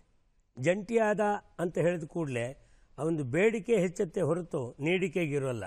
ಹಾಗಾಗಿ ತಾನು ದುಡಿಯತಕ್ಕಂಥ ದುಡಿಮೆಯನ್ನು ತಾನು ಅನುಭವಿಸಿ ತನ್ಮೂಲಕ ಸಂತೋಷ ಪಡಬೇಕು ಅಂತ ಹೇಳಿದರೆ ಒಬ್ಬ ವ್ಯಕ್ತಿಯೇ ಸರಿ, ಏಕಾಂತವೇ ಸರಿ ಅನ್ನುತ್ತಾರೆ. ಹಾಗಾಗಿ ಸಂಸಾರದ ಜಂಜಾಟಕ್ಕೆ ನಾವು ಹಲಸಿನ ಹಣ್ಣು ಕೈಗೆ ತೈಲವನ್ನು ಹಚ್ಚಿಕೊಳ್ಳದಲೇ ಸಿಕ್ಕಿ ಸಿಲುಕಾಗಿಸಿಕೊಳ್ಳುವುದಕ್ಕಿಂತ, ಹೆಂಡತಿಯ ಕೈಲಿ ಸಿಕ್ಕಿ ಎಸೈಸಿಕ್ಕೆ ಸಿಕ್ಕಾಗುವುದಕ್ಕಿಂತಲೂ ಸಿಕ್ಕಿ ಹಾಕಿಕೊಳ್ಳದಲೇ ಸಿಕ್ಕಾಪಟ್ಟೆ ಎಲ್ಲಿಂದರಲ್ಲಿ ನಾವು ತಿರುಗೋದಕ್ಕೆ ಸ್ವತಂತ್ರವಾಗಿ ಬದುಕಬೇಕು ಅಂದರೆ ನನಗೆ ಒಂಟಿ ಜೀವನವೇ ಬಹಳ ಖುಷಿ ಕೊಡ್ತಕ್ಕಂಥದ್ದು ಅನ್ನುವುದು ಉಮೇಶ್ ಗೌಡ್ರವರ ಮಾತು. ನೀವೇನಂತೀರಿ ಎಲ್ಲ ಕನ್ನಡ ಮನಸ್ಸುಗಳಿಗೆ ನಮಸ್ಕಾರ. ಮಾಮ, ಇವತ್ತು ಒಂಟಿ ಜಂಟಿ ಅನ್ನೋ ಬಗ್ಗೆ ಚರ್ಚೆಗಳು ನಡೀತಾ ಇದೆ. ಯಾವತ್ತು ಒಂಟಿ ಅನ್ನೋ ಒಂದು ಮಾತಿಗೆ ಅರ್ಥನೇ ಇಲ್ಲ ಅಂತೇಳಿ ಅನ್ಸುತ್ತೆ ಯಾಕಂದರೆ ಆಧ್ಯಾತ್ಮಿಕ ಕ್ಷೇತ್ರದಲ್ಲೂ ಕೂಡ ಅಕ್ಕ ಮಹಾದೇವಿ, ಯಾವತ್ತೂ ತಾನು ಒಂಟಿ ಅಂತೇಳಿ ಹೇಳ್ಕೊಂಡ್ಲೇ ಇಲ್ಲ. ಚೆನ್ನಮಲ್ಲಿಕಾರ್ಜುನನೇ ನನ್ನ ಪತಿ ಅಂತೇಳಿ ಹೇಳ್ಕೊಂಡ. ಯಾವುದೇ ಒಬ್ಬ ಆಧ್ಯಾತ್ಮಿಕ ಪುರುಷನನ್ನ ತಗೊಂಡ್ರೆ ದೇವರು, ಭಗವಂತ ಶಕ್ತಿಯ ಜೊತೆಗೆ ನನ್ನ ಮಿಲನ, ನನ್ನ ಸಮ್ಮಿಲನ ಸಾಧ್ಯ ಆಗ್ತಾ ಇದೆ ಅಂತೇಳಿ ಹೇಳ್ತಾರೆ. ಹಾಗಾಗಿ ಒಂದು ಮಾತಿದೆ ಮಾಮ, ಒಂಟಿ ಎಂಬ ಕೋತಿ ನೆತ್ತಿಗೇರಿದರೆ ಅದು ಭೀತಿ. ಒಂಟಿ ಎಂಬ ಕೋತಿ ನೆತ್ತಿಗೇರಿದರೆ ಅದು ಭೀತಿ. ಇನ್ನು ಜಂಟಿ ಎಂಬ ಪ್ರೀತಿ ಜಂಟಿ ಎಂಬ ನೀತಿ ಹೃದಯಕ್ಕಿಳಿದಾಗ ಪ್ರೀತಿ ಅಂತ ಹೇಳಿ ಹಾಗಾಗಿ ಒಂದು ಸಂಬಂಧ ಅಥವಾ ಒಂದು ಬಾಂಧವ್ಯ ಅನ್ನೋದು ಹೇಗಿರಬೇಕು ಅಂತಂದ್ರೆ, ಮನುಷ್ಯನ ಸಂಬಂಧಗಳು ಹೇಗಿರಬೇಕು ಅಂದ್ರೆ ದೀಪದಲ್ಲಿರುವ ತೈಲದಂತಿರಬೇಕು. ಯಾಕೆ? ದೀಪದಂತ ತೈಲದಂತಿರಬೇಕು. ಯಾರು ಎಷ್ಟೇ ಬತ್ತಿ ಇಟ್ಟರೂ ಕೂಡ ನಂದಾ ದೀಪದಂತೆ ಜ್ಯೋತಿಯಾಗಿ ಬೆಳಗುವಂತಿರಬೇಕು ನಮ್ಮ ಮನುಷ್ಯ ಮನುಷ್ಯನ ಸಂಬಂಧಗಳು ಅಂತ ಹೇಳಿ ಒಂದು ಮಾತಿದೆ. ಸಿನಿಮಾದಲ್ಲೂ ಕೂಡ ಒಂದು ಹಾಡಿದೆ ಮಾಮ ಒಂಟಿ ಒಂಟಿಯಾಗಿರುವುದು ಬೋರೋ ಬೋರು. ಅವರೇ ಹೇಳ್ಬಿಟ್ಟಿದಾರಲ್ಲ ಇನ್ನು ಒಬ್ಬೊಬ್ಬರ ನಕ್ರೆ ಏನಂತಾರೆ? ಹುಚ್ಚರು ಅಂತಾರೆ. ಒಂದು ಹುಲಿ, ಇನ್ನೊಂದು ಇಲಿ ಸೇರಿದರೆ ಫ್ಯಾಮಿಲಿ. ಮಾನವ, ಮ, ಮಡದಿಯೊಂದಿಗೆ ನ ನಗು ನಗುತ್ತಾ ವ, ವರ್ತಿಸುವವನು ಮಾನವ. ಎರಡು ಸುಳ್ಳು ಸೇರಿದರೆ ಸತ್ಯ, ಅದಕ್ಕೆ ನಿದರ್ಶನ ನಮ್ಮ ದಾಂಪತ್ಯ. ಸುಳ್ಳೇ ಇರ್ಬೋದು, ಜಗಳವೇ ಇರ್ಬೋದು, ಮನಸ್ತಾಪವೇ ಇರ್ಬೋದು ಅದ್ರ ಎಲ್ಲದ್ರ ಜೊತೆಗೆ ಒಂದು ಪ್ರೀತಿ ಅನ್ನೋದು ಸೇರಿರುತ್ತಲ್ಲ ಮಾಮ, ಅದು ಬಹಳ ಮುಖ್ಯ ಆಗುತ್ತೆ. ಹಾಗೆ ಒಂದು ಫ್ಯಾಮಿಲಿನಲ್ಲಿ ಒಬ್ಬ ಹೆಂಡತಿ ಗಂಡನನ್ನು ಕೇಳ್ತಾಳೆ, ರೀ, ಎಷ್ಟೊಂದು ದಿವಸ ಆಯಿತು, ಎಲ್ಲರೂ ಹೋಗಿ ಬರೋಣ, ಬನ್ರಿ ಅಂತ ಕೇಳ್ತಾಳೆ. ಗಂಡ ಒಂದೇ ಮಾತಿಗೆ, ಹೌದಾ, ಸರಿ, ಆಯಿತು, ನಡಿ, ಹೋಗೋಣ ಅಂತ ಗಂಡ ಸರಿ ಅಂದ ಕೂಡಲೇ ಹೆಂಡತಿ ಎಲ್ಲ ಪ್ಯಾಕ್ ಮಾಡಿ, ಹಾಂ, ನಡೀರಿ, ಹೋಗೋಣ ಅಂತ ಹೊರಟ್ಬಿಡ್ತಾನೆ ಯಾಕೆ ಅಂದರೆ ಹೆಂಡತಿಗೆ ಡೌಟು ಸರಿ ಅಂತ ಹೇಳಿದಾನೆ ಮನುಷ್ಯ, ಅಕಸ್ಮಾತ್ ಸರಿ ಅನ್ನೋ ಬದಲು ನೋಡೋಣ ಅಂತ ಹೇಳ್ಬಿಟ್ಟಿದ್ರೆ ಖಂಡಿತ ಅದು ಆಗಲ್ಲ ಅಂತಲೇ ಲೆಕ್ಕ. ಹಂಗಾಗಿ ಸರಿ ಅಂತ ಕೂಡಲೇ ನಡಿ ಅಂತ ಹೇಳಿ ಎಲ್ಲ ಗಂಟು ಮೂಟೆ ಪ್ಯಾಕ್ ಆಗಿ ಎರಡು ಬ್ಯಾಗ್ ಸಿದ್ಧ ಆಯಿತು. ಊರಿಗೆ ಹೊರಟರು, ಊರು ತಲುಪ್ತು. ಊರಿನಲ್ಲಿ ಒಂದು ಹೋಟೆಲ್ನಲ್ಲಿ ಉಳ್ಕೊಳ್ಲಿಕ್ಕೆ ರಿಸೆಪ್ಷನಿಸ್ಟ್ ಹತ್ರ ನಿಂತರು. ರೂಮ್ ಬುಕ್ ಆಯಿತು. ಅವರು ರಿಸೆಪ್ಷನಿಸ್ಟ್ ಕೇಳಿದ್ರು, ಸರ್, ನೀವಿಬ್ರು ಗಂಡ ಹೆಂಡತಿ ಅನ್ನೋದಕ್ಕೆ ನಂಗೊಂದು ಪ್ರೂಫ್ ಕೊಡಿ ಸರ್ ಅಂತೇಳಿ ಕೇಳಿದ್ಲು. ಗಂಡ ಒಂದೇ ಮಾತೇಳ್ದ ಅಲ್ಲ ಕಣ್ತಾಯಿ ನಾನೇನಾದ್ರು ಇವಳು ಹೆಂಡ್ತಿನೇ ಅಲ್ದೆ ಹೋಗಿದ್ದಿದ್ರೆ ಈ ದಡಗ್ಲಿನ ಯಾಕೆ ಕರ್ಕೊಂಡ್ ಬರ್ತಿದ್ದೆ? ಒಂದು ಹದಿನೆಂಟು ವರ್ಷದ ಪೋರಿನ ಕರ್ಕೊಂಡ್ ಬರ್ತಿದ್ದೆ ಇವಳನ್ನೇ ಕರ್ಕೊ ಬರ್ತಿದ್ದೆ ಅಂತಂದ್ಲು. ಸರಿ, ಅವಳು ಆ ಕಡೆ ಲಾಂಜಲ್ಲಿ ಕೂತಿದ್ಲು. ಏನೋ ಗಲಾಟೆ ಆಗ್ತಾ ಇದೆಯಲ್ಲ ಅಂತೇಳಿ ಹೆಂಡ್ತಿ ಓಡ್ ಬಂದ್ಲು. ಏನ್ರಿ ಏನ್ರಿ, ಏನಾಯ್ತು ಏ, ನೀನು ಹೆಂಡ್ತಿ ಅನ್ನೋದಕ್ಕೆ ನಾನು ಪ್ರೂಫ್ ಕೊಡ್ಬೇಕಂತೆ ಕಣೆ ಅಂತೇಳಂದ್ರು. ಅದಕ್ಕೆ ಯಾಕ್ರಿ ಅಷ್ಟೊಂದು ಒದ್ದಾಡ್ತೀರಾ? ನಿಮ್ಮ ಜೇಬಲ್ಲಿ ಪ, ಪರ್ಸ್ ಇದೆಯಲ್ಲ ಅದರಲ್ಲಿ ಒಂದು ನಮ್ದೊಂದು ಫೋಟೋ ಇತ್ತಲ್ಲ, ಆ ಫೋಟೋ ತೋರಿಸ್ರಿ ಅಂದ್ಲು. ಆ ಫೋಟೋನಾ? ತುಂಬ ಹಳೆಯ ಕಾಲದ ಫೋಟೋ ಅಲ್ಲ, ನೀನು ಪರಿಚಯ ಆಗಲ್ಲ ಅಂತೇಳಿ ಬಿಸಾಕ್ಬಿಟ್ಟೆ ಕಣೆ ಅಂತಂದ್ರು. ಫೋಟೋನ ಬಿಸಾಕಿದ್ರಾ? ಇವತ್ತು ಫೋಟೋ ಬಿಸಾಕಿದ್ದೀರಾ ನಾಳೆ ನೀವು ನನ್ನನ್ನೇ ಬಿಸಾಕ್ಬೋದು. ಎಷ್ಟು ಧೈರ್ಯ ನಿಮಗೆ? ಹಾ ನನ್ನ ಫೋಟೋ ಬಿಸಾಕಿದ್ದೀರಾ ನಿಮಗೆ ಯಾರು ಕೊಟ್ಟರು ಹಕ್ಕು? ಎಲ್ಲಿಂದ ಬಂತು ಧೈರ್ಯ? ಜೋರು ಮಾಡಕ್ಕೆ ಶುರು ಮಾಡಿದ್ಲು. ಗಂಡ, ಬಾಯಿ ಮುಚ್ಚು. ಇದು ಹೋಟೆಲ್ಲು ನಿಮ್ಮ ಅಪ್ಪನ ಮನೆ ಅಲ್ಲ, ಬಾಯಿ ಮುಚ್ಚು. ಬಾಯಿ ಮುಚ್ಚಕ್ಕೆ ನಾನು ಯಾರು? ನನ್ನನ್ನು ಬಾಯಿ ಮುಚ್ಚು ಅಂದ್ಲಿ ನಮ್ಮ ಅಪ್ಪನ ಮನೆ ನಮ್ಮ ಅಪ್ಪನ ಹೆಸರೆಲ್ಲ ಯಾಕೆ ತಗೊಂಡ್ ಬಂದ್ರಿ ಅಂತೇಳಿ ಏಳು ರೇಗಕ್ಕೆ ಶುರು ಮಾಡಿದ್ಲು. ನಿಮ್ಮ ಅಪ್ಪನ ಮಾತ್ರ ಅಲ್ಲ, ನಿಮ್ಮ ಅಜ್ಜನ ಹೆಸರನ್ನು ತಗೊಂಡ್ ಬರ್ತೀನಿ, ಬಾಯಿ ಮುಚ್ಚು ನಿಮ್ಮ ಅಜ್ಜ ನಮ್ಮಜ್ಜ ನನ್ನ ತವ್ರ ಮನೆ ನೀನು ಯಾಕೆ ಪ್ರಶ್ನೆ ಮಾಡ್ತೀಯಾ? ಅಂತೆಲ್ಲ ಜಗಳ ಆಗೋ ಅಷ್ಟೊತ್ತಿಗೆ ಇಡೀ ಹೋಟೆಲಿನ ಮಾಲೀಕರು, ಕಾರ್ಮಿಕರು, ಕೆಲಸಗಾರರು, ಸಿಬ್ಬಂದಿಗಳು ಎಲ್ಲ ಸುತ್ತ ಬಂದು ನಿಂತರು. ರಿಸೆಪ್ಷನಿಸ್ಟ್ ಒಂದೇ ಮಾತಾಡಿದ್ಲು ಸರ್, ನೀವೇ ಗಂಡ, ಹೆಂಡತಿ ಅಂತೇಳಿ ಪ್ರೂಫ್ ಆಯಿತು ಗಂಡ ಹೆಂಡತಿ ಎಲ್ಲಿದ್ರೂ ಕೂಡ ಹಿಂಗೆ ಜಗಳ ಆಗ್ತಾರೆ. ನಮಗೆ ಇವಾಗ ಏನು ಪ್ರೂಫ್ ಬೇಡ ಸರ್. ನೀವು ಗಂಡ ಹೆಂಡತಿ ಅಂತ ಗೊತ್ತಾಯಿತು, ಮನೆ ಒಳಗಡೆ ಹೋಗಿ ಅಂದರು. ಇದು ಮಾಮ ಜಂಟಿತನ ಅಂದರೆ ಆ ಒಂದು ಜಗಳದ ಒಳಗಿನ ಪ್ರೀತಿ ಇದೆಯಲ್ಲ, ಆ ಮನಸ್ತಾಪದ ಒಳಗಿನ ಒಂದು ಆಸ್ತತೆ ಇದೆಯಲ್ಲ, ಅದು ಬೇಕಾಗಿರುವಂಥದ್ದು ಹಾಗಾಗಿ ನಮ್ಮ ಮುದ್ದುರಾಮನ ಪದ್ಯ ಹೇಳುತ್ತೆ, ಒಂಟಿತನ ಅನ್ನೋದು ಯಾವತ್ತೊಂದು ಅಹಂಭಾವ. ಅಹಂಭಾವ, ಅದರಲ್ಲಿ ಅಭಿಮತ ಇಲ್ಲ. ಅಹಮಿನಲಿ ಗರ್ವವಿದೆ, ಅಭಿಮತದ ಸಿಹಿ ಇಲ್ಲ. ಅಹಮಿನಲಿ ಗರ್ವವಿದೆ ಅಭಿಮತದ ಸಿಹಿಯಿಲ್ಲ. ಗೆಲ್ಲುವುದು ಸಹಕಾರ, ಪೈಪೋಟಿಯಲ್ಲ. ಶಾಂತ ಅನುಭವದಲ್ಲೇ ಮುದವ ಕಾಣುತ್ತ ನೀನು. ಅರಿ ಮೊದಲು ಪರಮತವ, ಮುದ್ದು ರಾಮ. ಅರಿ ಮೊದಲು ಪರಮತವ, ಮುದ್ದು ರಾಮ. ಇನ್ನ ಬರೀ ಒಂಟಿಯಾಗಿರ್ಲಿಕ್ಕೆ ಸಾಧ್ಯ ನಮ್ಮಮ್ಮ? ಅದಕ್ಕೂ ಒಂದು ಪದ್ಯ ಹೇಳುತ್ತೆ. ಕುಂಚ ಇದ್ದರೆ ಸಾಕೆ, ಚಿತ್ರತಾ ಮೂಡುವುದೇ. ಕುಂಚ ಇದ್ದರೆ ಸಾಕೆ, ಚಿತ್ರತಾ ಮೂಡುವುದೇ. ವೀಣೆ ಇದ್ದರೆ ಸಾಕೆ, ನಾದ ಹೊಮ್ಮುವುದೇ.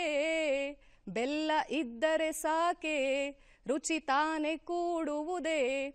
ಬೇಕೊಂದು ಬಾಂಧವ್ಯ, ಮುದ್ದು ರಾಮ. ಹಾಗಾಗಿ ಆ ಬಾಂಧವ್ಯದ ಮೂಲಕ ಜಂಟಿತನದ ಬದುಕೆ ಶ್ರೇಷ್ಠ. ನಾನು ಶುಭ ಮರುವಂತೆ ಕೇಳ್ತಿದ್ದೀನಿ. ಬಂಧದಲ್ಲಿ ಬದುಕುವುದಕ್ಕಿಂತ, ಬಂಧನದಲ್ಲಿ ಬದುಕುವುದಕ್ಕಿಂತ, ಸಂಬಂಧದಲ್ಲಿ ಬದುಕಿದರೆ ಅದು ಸುಗಂಧವಾದಂತಹ ಸುಗಂಧ ಲೇಪ ಇದ್ದಂತೆ ಅನ್ನತಕ್ಕಂಥದ್ದು ನಾಗಶ್ರೀ ತ್ಯಾಗರಾಜರವರ ಮಾತು. ಅದು ಸ್ವಂತ ಬದುಕಾಗೋದಿಲ್ಲ, ಸಂತನ ಬದುಕಾಗುತ್ತೆ ಅನ್ನುತ್ತಾರೆ. ನೀವೇನಂತ ಸಂತನ ಬದುಕಾಗಬೇಕಾದ್ರೆ ಒಂಟಿಯಾಗಿರಬೇಕು ಅಂತೀನಿ ಮಾವ ನಾವು.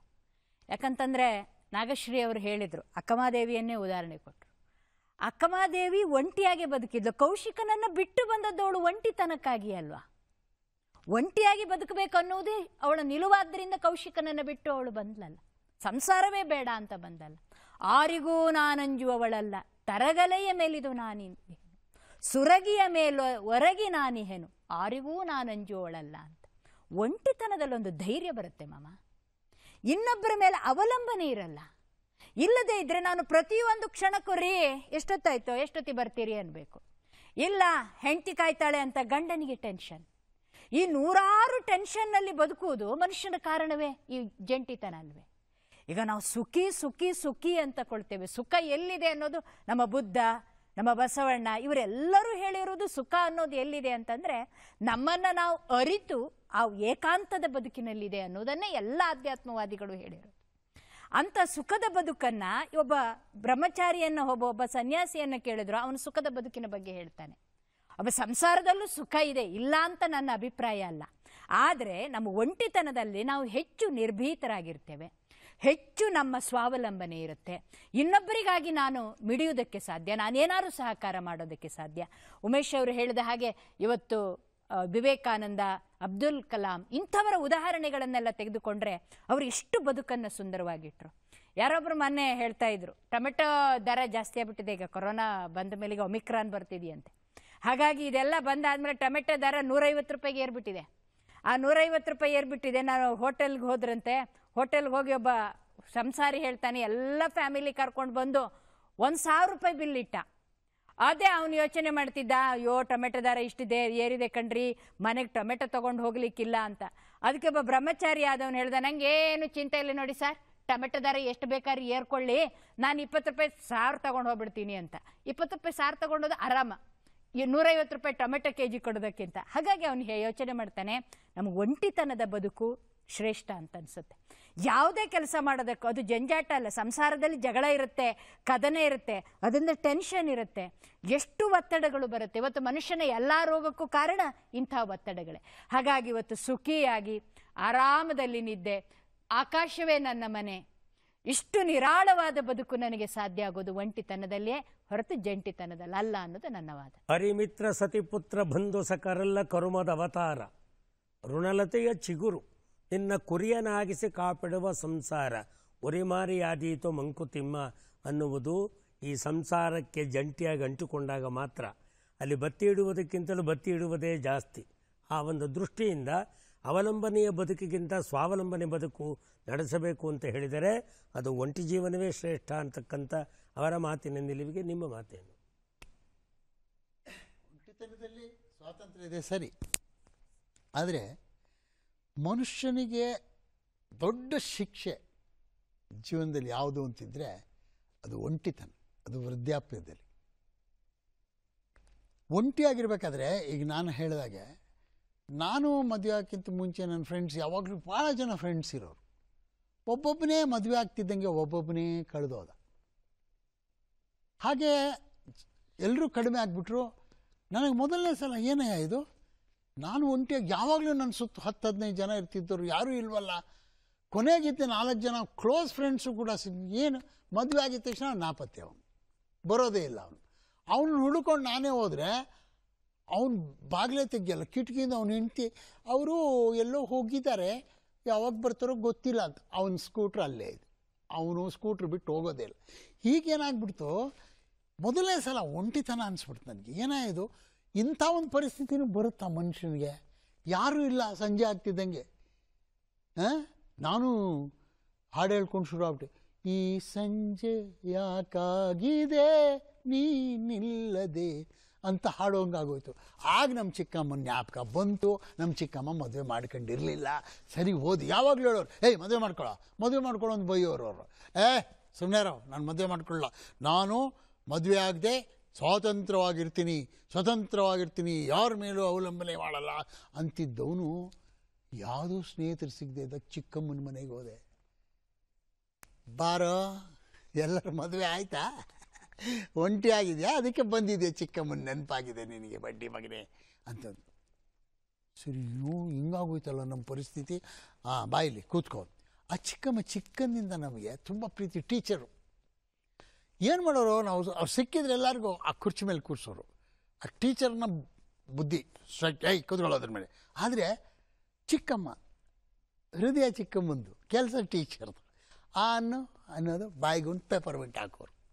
ಆದರೆ ಕುರ್ಚಿ ಮೇಲೆ ಕೂತ್ಕೋಬೇಕು, ಹಿಂಗೆ ಕೂತ್ಕೋಬೇಕು. ಆವತ್ತೋದೆ, ಬಾಯಲ್ಲಿ, ಏನೊಂದು, ಏನಿಲ್ಲ. ಸುಮ್ಮನೆ ಬಂದೆ, ನಿನ್ನ ನೋಡೋಣ ಅಂತ. ಹೌದೌದು ನನ್ನನ್ನು ನೋಡೋಣ ಅಂತಂದರೆ ಬಡ್ಡಿ ಮಗನೇ ನಿನ್ಗೆ ಒಂಟಿತನ ಕಾಡ್ತಾ ಇರಬೇಕು. ಎಲ್ಲ ಫ್ರೆಂಡ್ಸ್ ಮಧ್ಯೆ ಏನಿಲ್ಲ ಕೂತ್ಕೊಳ್ಳೋ ಕುರ್ಚಿ ಮೇಲೆ ಅಂತ. ಏನು ಮಾಡ್ತೀರಾ? ಈ ಹಳೆ ಮೇಷ್ಟ್ರುಗಳು, ಹಳೆ ಚಿಕ್ಕಮ್ಮದು ದೊಡ್ಡಬ್ದಿರೋ ನಾವು ಎಷ್ಟೇ ದೊಡ್ಡವರು ಅವ್ರು ಜೋರು ಹಾಕಿದ್ರೆ ನಾವು ವೀಕ್ ಆಗ್ಬಿಡ್ತೀವಿ. ಈ ಪ್ರೈಮರಿ ಸ್ಕೂಲ್ ಮೇಷ್ಟ್ರುಗಳು ಇರಬೇಕು. ನೋಡಿದ್ದೀವಿ ಏನೋ? ಹೆಂಗಿದೆಯಾ? ಅಂತ. ನಾವು ಏನೋ ಆಗ್ಬಿಟ್ಟಿರ್ತೀವಿ. ಆದರೆ ಅವ್ನ ಮುಂದೆ ಅದೇ ಚಡ್ಡಿ ಹಾಕ್ಕೊಳ್ದಿರೋ ಹುಡುಗನ ಥರ ಕಾಣಿಸ್ತಿರ್ತಾರೆ ಸಿದ್ದರಾಮಯ್ಯನ ಮೇಷ್ಟ್ರು ಸಿಕ್ಕಿದ್ದು ಏನೋ ಸಿದ್ದರಾಮ? ಏನು ಮಾಡ್ತಾ ಇದೆಯಾ? ಚೀಫ್ ಮಿನಿಸ್ಟರ್ ಆಗ್ಬಿಟ್ಯಾ ಹಾಂ ಹೋಮ್ವರ್ಕ್ ಕರೆಕ್ಟಾಗಿ ಮಾಡಿ, ಹೋಗು ಅಂತ. ಆಯ್ತು ಸರ್ ಅಂತ ಆ ಥರ ಈ ಚಿಕ್ಕಮ್ಮದಿರು. ಸರಿ, ಕೂತ್ಕೊ ಅಂದಿತ್ತು ಕೂತ್ಬಿಟ್ಟೆ. ಮದುವೆ ಮಾಡ್ಕೊ. ಯಾ ಮಾಡ್ಕೊಳ್ಳಲ್ಲ ನಾನು. ಯಾಕೆ ಅಂದ್ರೆ ಮದುವೆ ಅಂದ್ರೆ ಏನು? ನಿನಗೆ ಗೊತ್ತಾ? ಯಾವ ಯಾವಳ ಬರ್ತಾಳ, ಅವಳು ಹೇಳ್ದಂಗೆ ಕೇಳಬೇಕು, ಅದು, ಇದು ಅಂತ. ಮದುವೆ ಅಂದರೆ ಏನು ಅಂತ ಗೊತ್ತಾಗಬೇಕೇನಾ? ಹ್ಞೂ ಅನ್ನೊಂದು. ಪೆಪ್ಪರ್ಮೆಂಟ್ ಹಾಕ್ತಾಳೆ ಅಂದ್ಕೊಂಡೆ ಚಿಕ್ಕಮ್ಮ ಒಂದು ಚಾಕ್ಲೇಟ್ ಹಾಕಿದ್ರು ಕಣ್ಣು ಮುಚ್ಕೋ. ನಿಧಾನಕ್ಕೆ ಕಚ್ಬೇಡ. ನಿಧಾನಕ್ಕೆ ಚೀಪ್, ಒಂದು ಚೀಪ್ದೆ ಸಕಲ ರಂಧ್ರಗಳು ನರ ನಾಡಿಗಳೆಲ್ಲ ಜುಮ್ ಅಂದ್ಬಿಡ್ದು ಚಿಕ್ಕಮ್ಮ ಏನಿದೆ ಅಂದೆ? ಮದುವೆ ಅಂದ್ರೆ ಹಿಂಗೆ ಇರುತ್ತೆ. ಹಾಕ್ಕಂಬಿಡು ಅಂದು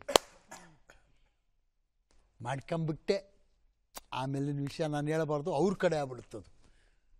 ಹಾಕಿದ ಚಾಕ್ಲೇಟ್ ಅಲ್ಲ ಚಿವಿಂಗಮ್ ಅಗ್ದಿದ್ದು ಅಗ್ದಿದ್ದೆ ಅಗ್ದಿದ್ದು ಅಗ್ದಿದ್ದೆ. ಆ ರುಚಿ ಇಲ್ಲ ಆ ಪರಿಮಳವೂ ಇಲ್ಲ. ಆದರೂ ಅದರಲ್ಲೊಂದು ಮಜಾ ಇದೆ. ಯಾಕಂದರೆ ಬಾಯಿ ಖಾಲಿ ಇರಲ್ಲ ಏನೋ ಒಂದು ಅಗ್ಯಕ್ಕಿರುತ್ತೆ ಒಂಟಿತನ ಇರಲ್ಲ. ಒಂದು ಕಡೆ ಈ ಕಡೆ ಆಗಿತೀವಿ ಒಂದು ಕಡೆ ಈ ಕಡೆ ಆಗಿತೀವಿ ಬೇಜಾರಾದಾಗ ಎಳಿತೀವಿ.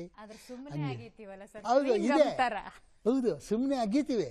ಏನು ಅಗಿಯಕ್ಕೆ ಇಲ್ಲದೆ ಇರೋದಕ್ಕಿಂತ ಏನಾದ್ರೂ ಒಂದು ಇದೆಯಲ್ಲ ಅಗಿಯಕ್ಕೆ ಅನ್ನೋದೇ ಬಹಳ ಸಂತೋಷದ.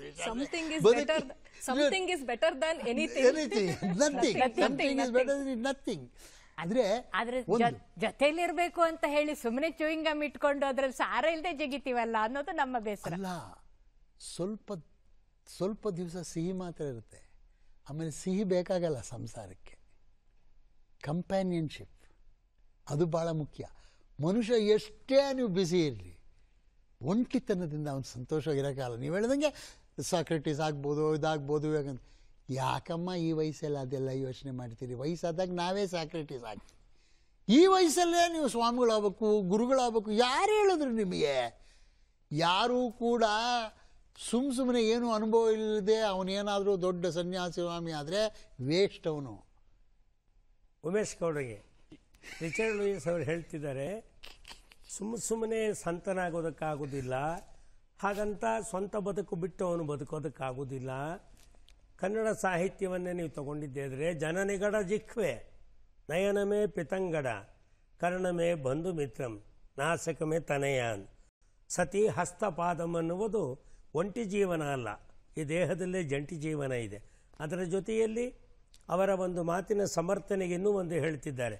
ಒಬ್ಬ ಬಂದ, ಅವನು ಗಂಡ ಹೆಂಡತಿ ಜೊತೆ ಕೂತಿದ್ದ, ಅವ್ರೇನೋ ಮಾತುಕತೆಗಳಾಗ್ತಿತ್ತು, ನೀವು ಹೇಳಿದಾಗೆ ಜಗಳ ಪಗಳ ಆಗ್ತಾ ಇತ್ತು. ಅವನು ಸೀದಾ ಬಂದು ಸ್ವಾಮೀಜಿ ಕೂತಿದ್ದ.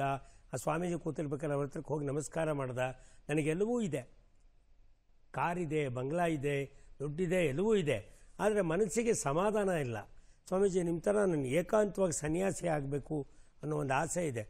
ನನಗೆ ನೀವು ಅನುಗ್ರಹ ಮಾಡಬೇಕು ಅಂತ ಹೇಳಿದಾಗ ಆ ಮನೆಯಲ್ಲಿ ಆ ಮನೆಯವಳನ್ನು ನನ್ನ ಮುಂದೆ ನಾಕ ಜೀವನ ನಡೆಸ್ತಕ್ಕಂಥ ಸಂದರ್ಭಕ್ಕೆ ನರಕ ಮಾಡಿರೋಳನ್ನು ಮೂಕಗೊಳಿಸಬೇಕು. ಅದಕ್ಕೊಂದು ಯಾವುದಾದ್ರೂ ಶ್ರೇಷ್ಠವಾದ ಮಂತ್ರ ಇದ್ದರೆ ದಯಮಾಡಿ ನನಗೆ ಉಪದೇಶಿಸಿ ಆಗ ಸ್ವಾಮೀಜಿ ಕಣ್ಣು ಬಿಟ್ಟು ಹೇಳಿದರು ನೋಡಪ್ಪ ಆ ಮಂತ್ರ ನನಗೆ ಗೊತ್ತಿದ್ದರೆ ನಾನೇ ಸನ್ಯಾಸಿ ಆಗ್ತಿದ್ದೆ ಅಂತಹ ಜೀವನಗಳೇ ಜಾಸ್ತಿ ಆಗ್ತಿದೆ.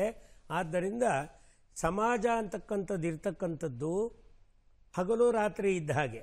ಆದರೆ ಅವೆರಡೂ ಸೇರಿದರೇ ದಿನ ಅಂತ ಅನಿಸ್ಕೊಳ್ಳೋ ಅಂಥದ್ದು ಅಂತಹ ದಿನದ ನಮ್ಮ ಚೈತನ್ಯದ ಬದುಕಿಗೆ ಯಾವತ್ತೂ ಕೂಡ ಸೂರ್ಯ ಚಂದ್ರ ಇದ್ದ ಹಾಗೆ ಜೀವನಕ್ಕೆ ಜಂಟಿ ಅಂತಕ್ಕಂಥದ್ದು, ಅದು ಮೌಲ್ಯವಾದದ್ದು, ಅಮೂಲ್ಯವಾದದ್ದು ಅಂತಕ್ಕಂಥದ್ದು. ರಿಚರ್ಡ್ ಲೂಯಿಸ್ ಅವರ ಮಾತು. ತಾವೇನಂತೀರಿ? ರಿಚರ್ಡ್ ಸರ್, ನೋವು ಅರ್ಥ ಆಯಿತು ಮಾಮ. ಪಾಪ ಆಗ್ಬಿಟ್ಟಿದ್ದೀನಿ ಮದುವೆ ಆಗ್ಬಿಟ್ಟಿದ್ದೀನಿ ಏನು ಮಾಡೋಕ್ಕಾಗುತ್ತೆ? ಬದುಕಬೇಕಲ್ಲ ಬದುಕಬೇಕಲ್ಲ ಅಂತ. ವೃದ್ಧಾಪ್ಯ ಇದೆಯಲ್ಲ ಭಾಳ ಕೆಡ್ತು ಭಾಳ ಕೆಡ್ತು ಅಂತ ಹೇಳ್ತಾ ಇದ್ದಾರೆ ಅವರು. ಹೌದು, ವೃದ್ಧಾಪ್ಯ ಬಹಳ ಕೆಟ್ಟು ಮದುವೆ ಮಾಡ್ಕೊಂಡು ಮಕ್ಕಳು ಮಾಡ್ಕೊಂಡವ್ರೆ ಮಕ್ಕಳು ತಗೊಂಡೋಗ್ಬಿಟ್ಟು ರುದ್ರಾಶ್ರಮಕ್ಕೆ ಸೇರಿಸ್ತಾ ಇರೋದು. ಒಂಟಿಯಾಗಿದ್ದವರು ಸಾಕಷ್ಟು ಜನ ರುದ್ರಾಶ್ರಮ ನಡೆಸ್ತಾ ಇದ್ದಾರೆ. ನನ್ನಂಗೆ ಇನ್ನೊಂದು ಇನ್ನೊಂದು, ಇನ್ನಷ್ಟು ಜೀವಗಳು ಬೀದಿ ಬರಬಾರ್ದು ಅನ್ನೋ ಕಾರಣಕ್ಕೋಸ್ಕರ ಏನು ಮಾಡ್ತಾ ಇದ್ದಾರೆ? ವೃದ್ಧಾಪ್ಯದಲ್ಲಿದ್ದವರಿಗೆ ರುದ್ರಾಶ್ರಮ ನಡೆಸ್ತಾ ಇದ್ದಾರೆ. ಮತ್ತೆ ಮಾಮ, ನೀವೇ ಹೇಳಿದ್ರಿ ಈಗ. ಗಂಡ, ಹೆಂಡ್ತಿ ಜಗಳ ಆಡಿಕೊಂಡು ಅದರೊಳಗೂ ಗಂಡನಿಗೆ ತಡಿಯೋಕ್ಕಾಗದೆ ಸ್ವಾಮಿಗಳ ಹತ್ರ ಹೋದ್ರು ಪರಿಹಾರ ಕೇಳಕ್ಕೆ ಅಂತ. ನೋಡಿದ್ರ? ಮದುವೆ ಆದವ್ರು ಇವರು ಒಂಟಿ ಆಗಿರೋರ ಹತ್ರ ಹೋಗಿ ಪರಿಹಾರ ಕೇಳ್ತಾರೆ. ಇನ್ನ ಮದುವೆ ಅಂತಂದ್ರೆ ಚೂಯಿಂಗಮ್ ಅಂತ. ಇವ್ರು ಸರ್ ಭಾಳ ಇದು ಚೂಯಿಂಗಮ್ ಹೌದು. ಆದರೆ ಮದುವೆಯ ನಿಜವಾದ ಅರ್ಥ ಚಾಕ್ಲೇಟ್ ಚೂಯಿಂಗಮ್ ಅಲ್ಲ. ಮದುವೆ ಮಹಾದುಂದು ವೆಚ್ಚ. ಮಹಾದುಂದು ವೆಚ್ಚ. ನೀವು ಮದುವೆ ಅನ್ನೋ ಕಾನ್ಸೆಪ್ಟ್ ಅಲ್ಲೇ ಸಿಕ್ಕಾಪಟ್ಟೆ ಗೊಂದಲಗಳಿದೆ. ಎಷ್ಟೋ ಥರದ ಎಂಟು ಥರದೇನೋ ಮದುವೆಗಳಿದೆ ನಾನು ಪುರಾಣಗಳು ತಿಳ್ಕೊಂಡ ಹಾಗೆ. ಅದರೊಳಗೂ ಇವತ್ತಿನ ಮದುವೆಗಳಿದೆಯಲ್ಲ, ದುಡ್ಡಿರೋರ್ದು ವಾರಗಟ್ಲೆ. ದುಡ್ಡಿಲ್ದೇ ಇರೋರ ಕತೆ ಅಂತೂ ಬೇಡವೇ ಬೇಡ. ವಾರಗಟ್ಲೆ ಮದುವೆ ಆದವನವ್ರು ನೆಮ್ಮದಿ ನೆಮ್ಮದಿ ಆಗವನ ಇಲ್ಲ. ಹೈಕೋರ್ಟ್ ಮುಂದೆ ಡೈವರ್ಸಿಂಗ್ ನಿಂತ್ಕೊಂಡವನೆ. ಹೋಗ್ಲಪ್ಪ. ಈಗ ಸಿಂಪಲ್ ಆಗಿ ಮದುವೆ ಆದವ್ರನ್ನ ಇಟ್ಟಗವನ? ಇಲ್ಲ. ಒಂದ್ ಮನೇಲಿ ಗಂಡ, ಇನ್ನೊಂದ್ ಮನೇಲಿ ಹೆಂಡತಿ.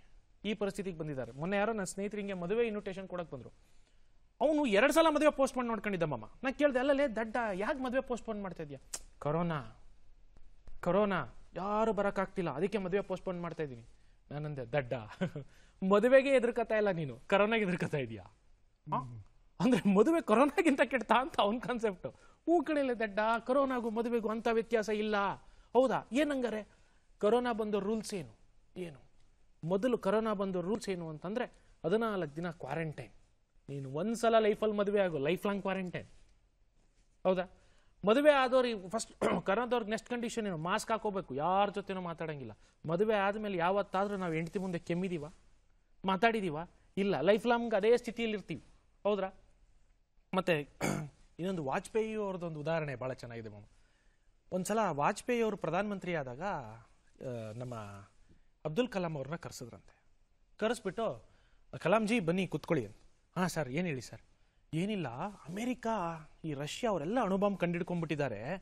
ನಮ್ಮ ದೇಶದಲ್ಲೂ ಆ ಥರ ಕಂಡಿಡಿಯಕ್ಕೆ ಆಗ್ಬೋದಾ ವಾಜಪೇಯಿ ಅವರು ಅಂದಿದ ತಕ್ಷಣ ಕಲಾಂ ಅವ್ರಿಗೆ ಸುಮ್ ಸಿಕ್ಕಾಪಟ್ಟೆ ಖುಷಿಯಾಗಿ, ಸಾರ್ ಎಂಥ ಮಾತು ಹೇಳಿದ್ರಿ? ನಿಮ್ಮಂಥವರಿಂದ ಈ ಮಾತು ಬರಲಿ ಅಂತ ಕಾಯ್ತಾ ಇದ್ದೆ. ಖಂಡಿತ ಸಾಧ್ಯ ಇದೆ. ಕಂಡಿಡಿತೀನಿ ಸರ್. ನೀವೇನು ಇದು ಮಾಡಿಬಿಡಿ. ಸುಮ್ಮನೆ ನನ್ನ ಪರ್ಮಿಷನ್ ಕೊಡಿ ಸಾಕು ಅಂತ. ಅದಕ್ಕೆ ವಾಜಪೇಯಿ ಇಲ್ಲ ಒಂದು ನಿಮಿಷ ಒಂದು ನಿಮಿಷ ಒಂದು ನಿಮಿಷ. ವಿಷಯ ಏನು ಅಂತಂದರೆ, ಅಮೆರಿಕನ್ ಸೆಟಲೈಟ್ಸ್ ಇದೆಯಲ್ಲ, ಇದೆಲ್ಲ ಕಡೆ ಹುಡುಕ್ತಾ ಇರುತ್ತೆ. ಇದೆಲ್ಲ ಕಡೆ ಹುಡುಕ್ತಾ ಇರುತ್ತೆ. ಎಲ್ಲೆಲ್ಲಿ ಏನೇನು ಆಗ್ತಾ ಇರುತ್ತೆ ಅಂತ. ಇದೇನಾದ್ರು ಸ್ವಲ್ಪ ಹೆಚ್ಚು ಕಮ್ಮಿ ಆದರೂ ವಿಶ್ವದಲ್ಲೇ ದೊಡ್ಡ ನ್ಯೂಸ್ ಆಗ್ಬಿಡತ್ತಪ್ಪ. ಅದಕ್ಕೆ ಏನು ಯೋಚನೆ ಮಾಡಿಬಿಡಿ ಸರ್. ಈ ವಿಷಯ ಎಲ್ಲೂ ಹೊರಗಡೆ ಹೋಗಲ್ಲ. ಯಾಕಂದ್ರೆ ನನಗೂ ಮದುವೆ ಆಗಿಲ್ಲ, ನಿಮಗೂ ಮದುವೆ ಆಗಿಲ್ಲ. ನಮ್ಗಳ ನಡುವೆನೇ ಇರುತ್ತೆ ಅಂತಂದ ಇನ್ನೊಂದು ಈ ದುಡ್ಡಿನ ವಿಚಾರದಲ್ಲಿ ಬಹಳ ಸ್ಪಷ್ಟವಾಗಿ ಹೇಳ್ತಾರೆ. ಜಾಸ್ತಿ ದುಡ್ಡಿದ್ರೆ ಜಾಸ್ತಿ ದುಡ್ಡಿದ್ರೆ ಇನ್ಕಮ್ ಇನ್ಕಮ್ ಟ್ಯಾಕ್ಸ್ನವ್ರು ಎದುರ್ಕೊಂಡು ಕ ಬಚ್ಚಿಡ್ಕೋಬೇಕಂತೆ. ಕಡಿಮೆ ದುಡ್ಡಿದ್ರೆ ಮನೇಲಿ ಹೆಂಡತಿಯಿಂದ ಬಚ್ಚಿಡ್ಬೇಕು. ಈ ಪರಿಸ್ಥಿತಿ ಇದೆ. ಮತ್ತೆ ಇವರೆಲ್ಲ ಹೇಳೋದೇನಂತ ಅಂದ್ರೆ ನಾವು ಜೇಂಟಿಯಾಗಿ ಖುಷಿಯಾಗಿದ್ದೀವಿ ಜೇಂಟಿಯಾಗಿ ಖುಷಿಯಾಗಿದ್ದೀವಿ ಅಂತ. ನೀವು ಪ್ರಾಮಾಣಿಕವಾಗಿ ಹೇಳಿ, ಒಂದು ವಾರಕ್ಕೆ ಎಷ್ಟೆಲ್ಲ ಗಲಾಟೆ ಮಾಡ್ಕೊತೀರಿ? ಎಷ್ಟೆಲ್ಲ ಗಲಾಟೆ ನೀವು ಮತ್ತೆ ಹೊಂದ್ಕೊಳ್ತೀರಿ ಯಾಕೆ ಗೊತ್ತಾ? ಅನಿವಾರ್ಯವಾಗಿ ಹೊಂದ್ಕೊಳ್ಳೋದು ಖುಷಿಯಿಂದ ಹೊಂದ್ಕೊಳ್ಳೋದಲ್ಲ ಅನಿವಾರ್ಯತೆ. ಬಿಟ್ರೆ ಗತಿ ಇಲ್ಲ. ಮತ್ತೆ ಏನು ಮಾಡೋಕ್ಕಾಗತ್ತಪ್ಪ? ಹ್ಞೂ, ತಾಯಿ, ನೀನೇ ಕಣವ ಅಷ್ಟೇ. ಆ ಅನಿವಾರ್ಯತೆಗೆ ನೀವು ಹೊಂದ್ಕೊಳ್ಳೋದೇ ವಿನಃ ಇನ್ನೊಂದು ಬುದ್ಧನ ಉದಾಹರಣೆ ಕೂಡ ಮತ್ತೆ ಇನ್ನೊಂದ್ಸಲ ಹೇಳೋದಾದ್ರೆ, ಹೊರಗಡೆ ಹೋಗಿ ಬುದ್ಧ ಧ್ಯಾನ ಮಾಡಿ ಸಿದ್ಧಾರ್ಥದಿಂದ ಬುದ್ಧ ಆದ್ಮೇಲೆ ಮತ್ತೆ ಬರ್ತಾನಂತೆ. ಅವನು ಶಿಷ್ಯ ಕೇಳ್ತಾನೆ, ಆನಂದ, ಬುದ್ಧ, ನನಗೂ ಕೂಡ ಮುಕ್ತಿ ಬೇಕಪ್ಪ. ನನಗೂ ಕೂಡ ನಿಂತರದ್ದೊಂದು ಜ್ಞಾನ ಶಕ್ತಿ ಬೇಕಪ್ಪ ಅಂದಿದ್ಕೆ. ಅವಾಗ ಬುದ್ಧ ಹೇಳ್ತಾನೆ ನೋಡಪ್ಪ ನೀನು ನನ್ನ ಜೊತೆ ಇದೆಯಾ ಅನ್ನೋ ಒಂದು ಕಾರಣಕ್ಕೆ ನಿನಗೆ ಮುಕ್ತಿ ಸಿಗೋದಿಲ್ಲ. ನೀನು ಒಬ್ಬನೇ ಕೂತು ಧ್ಯಾನ ಮಾಡು ಒಂಟಿಯಾಗಿರು ಈ ಜಗತ್ತಿನ ಎಲ್ಲ ಬಂಧನಗಳನ್ನ ಬಿಡಿಸ್ಕೋ ಅವಾಗ ನಿನಗೆ ಮುಕ್ತಿ ಸಿಗತ್ತೆ. ಏಕಾಂತತೆಯ ಮೂಲಕ ನಮ್ಮ ಒಂದು ಆನ್ಸರ್ ಮಾಡಿ. ಹಾ. ಬುದ್ಧ ಬುದ್ಧನಾಗಬೇಕಾದರೆ ಸಿದ್ಧಾರ್ಥನಾಗಬೇಕಿತ್ತು. ಸಿದ್ಧಾರ್ಥನಾಗದೆ ಬುದ್ಧ ಬುದ್ಧನಾಗುವುದಿಲ್ಲ. ಮದುವೆ ಆಗಬೇಕು ಆಮೇಲೆ ನೀವು ಏನು ಬೇಕಾದ್ರೂ ಫಿಲಾಸಫಿ ಆಗ್ಬೋದು ಏನು- ಏನೂ ಆಗದೆ ರಪ್ಪಂತ ಬುದ್ಧ ಆಗ್ತೀನಿ ಅಂದರೆ ಬುದ್ಧನಾಗುವುದಿಲ್ಲ ಅವನು ಪೆದ್ದನಾಗ್ತಾನೆ. ಕ್ವಾರಂಟೈನ್ ಅಂತಂದ್ರಿ. ಏನನ್ನ ಕ್ವಾರಂಟೈನ್ ಅಂತೀರಿ? ಮದುವೆ ಆದರೆ ಕ್ವಾರಂಟೈನ್ ಅಂತೀರಿ. ಸ್ವಾಮಿ ಬ್ರಹ್ಮಚರ್ಯನೇ ಕ್ವಾರಂಟೈನು ಲೈಫ್ ಲಾಂಗ್ ಕ್ವಾರಂಟೈನ್ ಒಬ್ಬನೇ ಇರ್ಬೇಕಾಗತ್ತೆ. ಕೊರೋನಾ ಬೇಕಾದ್ರೆ ತಡ್ಕೊಂಡ್ಬಿಡ್ಬೋದು. ಕ್ವಾರಂಟೈನ್ ತಡ್ಕೊಳಕ್ಕಾಗಲ್ಲ. ಸೊ ಆ ಕ್ವಾರಂಟೈನ್ ಅನ್ನೋದಿದೆ ಇಡೀ ಜೀವನ ಕ್ವಾರಂಟೈನ್ ಆಗಿಬಿಟ್ರೆ ಹೆಂಗಿರುತ್ತೆ ಅಂತ ನೀವು ಊಹಿಸ್ಕೋಕ್ಕೂ ಆಗಲ್ಲ ಅದು. ಅಲ್ಲ ರಿಚರ್ಡ್ ಮಾಮ ನಾನೇನ್ ಹೇಳ್ತಾ ಇರೋದು ಅಂತಂದ್ರೆ ಇಷ್ಟು ದೊಡ್ಡ ಜನಸಂಖ್ಯೆಯಲ್ಲಿ ಒಬ್ಬನೇ ಬುದ್ಧ ಸಿಕ್ಕಿದ್ ನಮಗೆ. ಹೌದು ಯಾಕೆ ಅಂತ ಅಲ್ಲ ಅದನ್ನೇ ಹೇಳ್ತಾ ಇರೋದು. ಇನ್ನಷ್ಟು ಜನ ಇನ್ನು ಮನೆ ಒಳಗೆ ಅವರಲ್ಲ. ಆ ಪರಿಸ್ಥಿತಿ ಯಾಕೆ?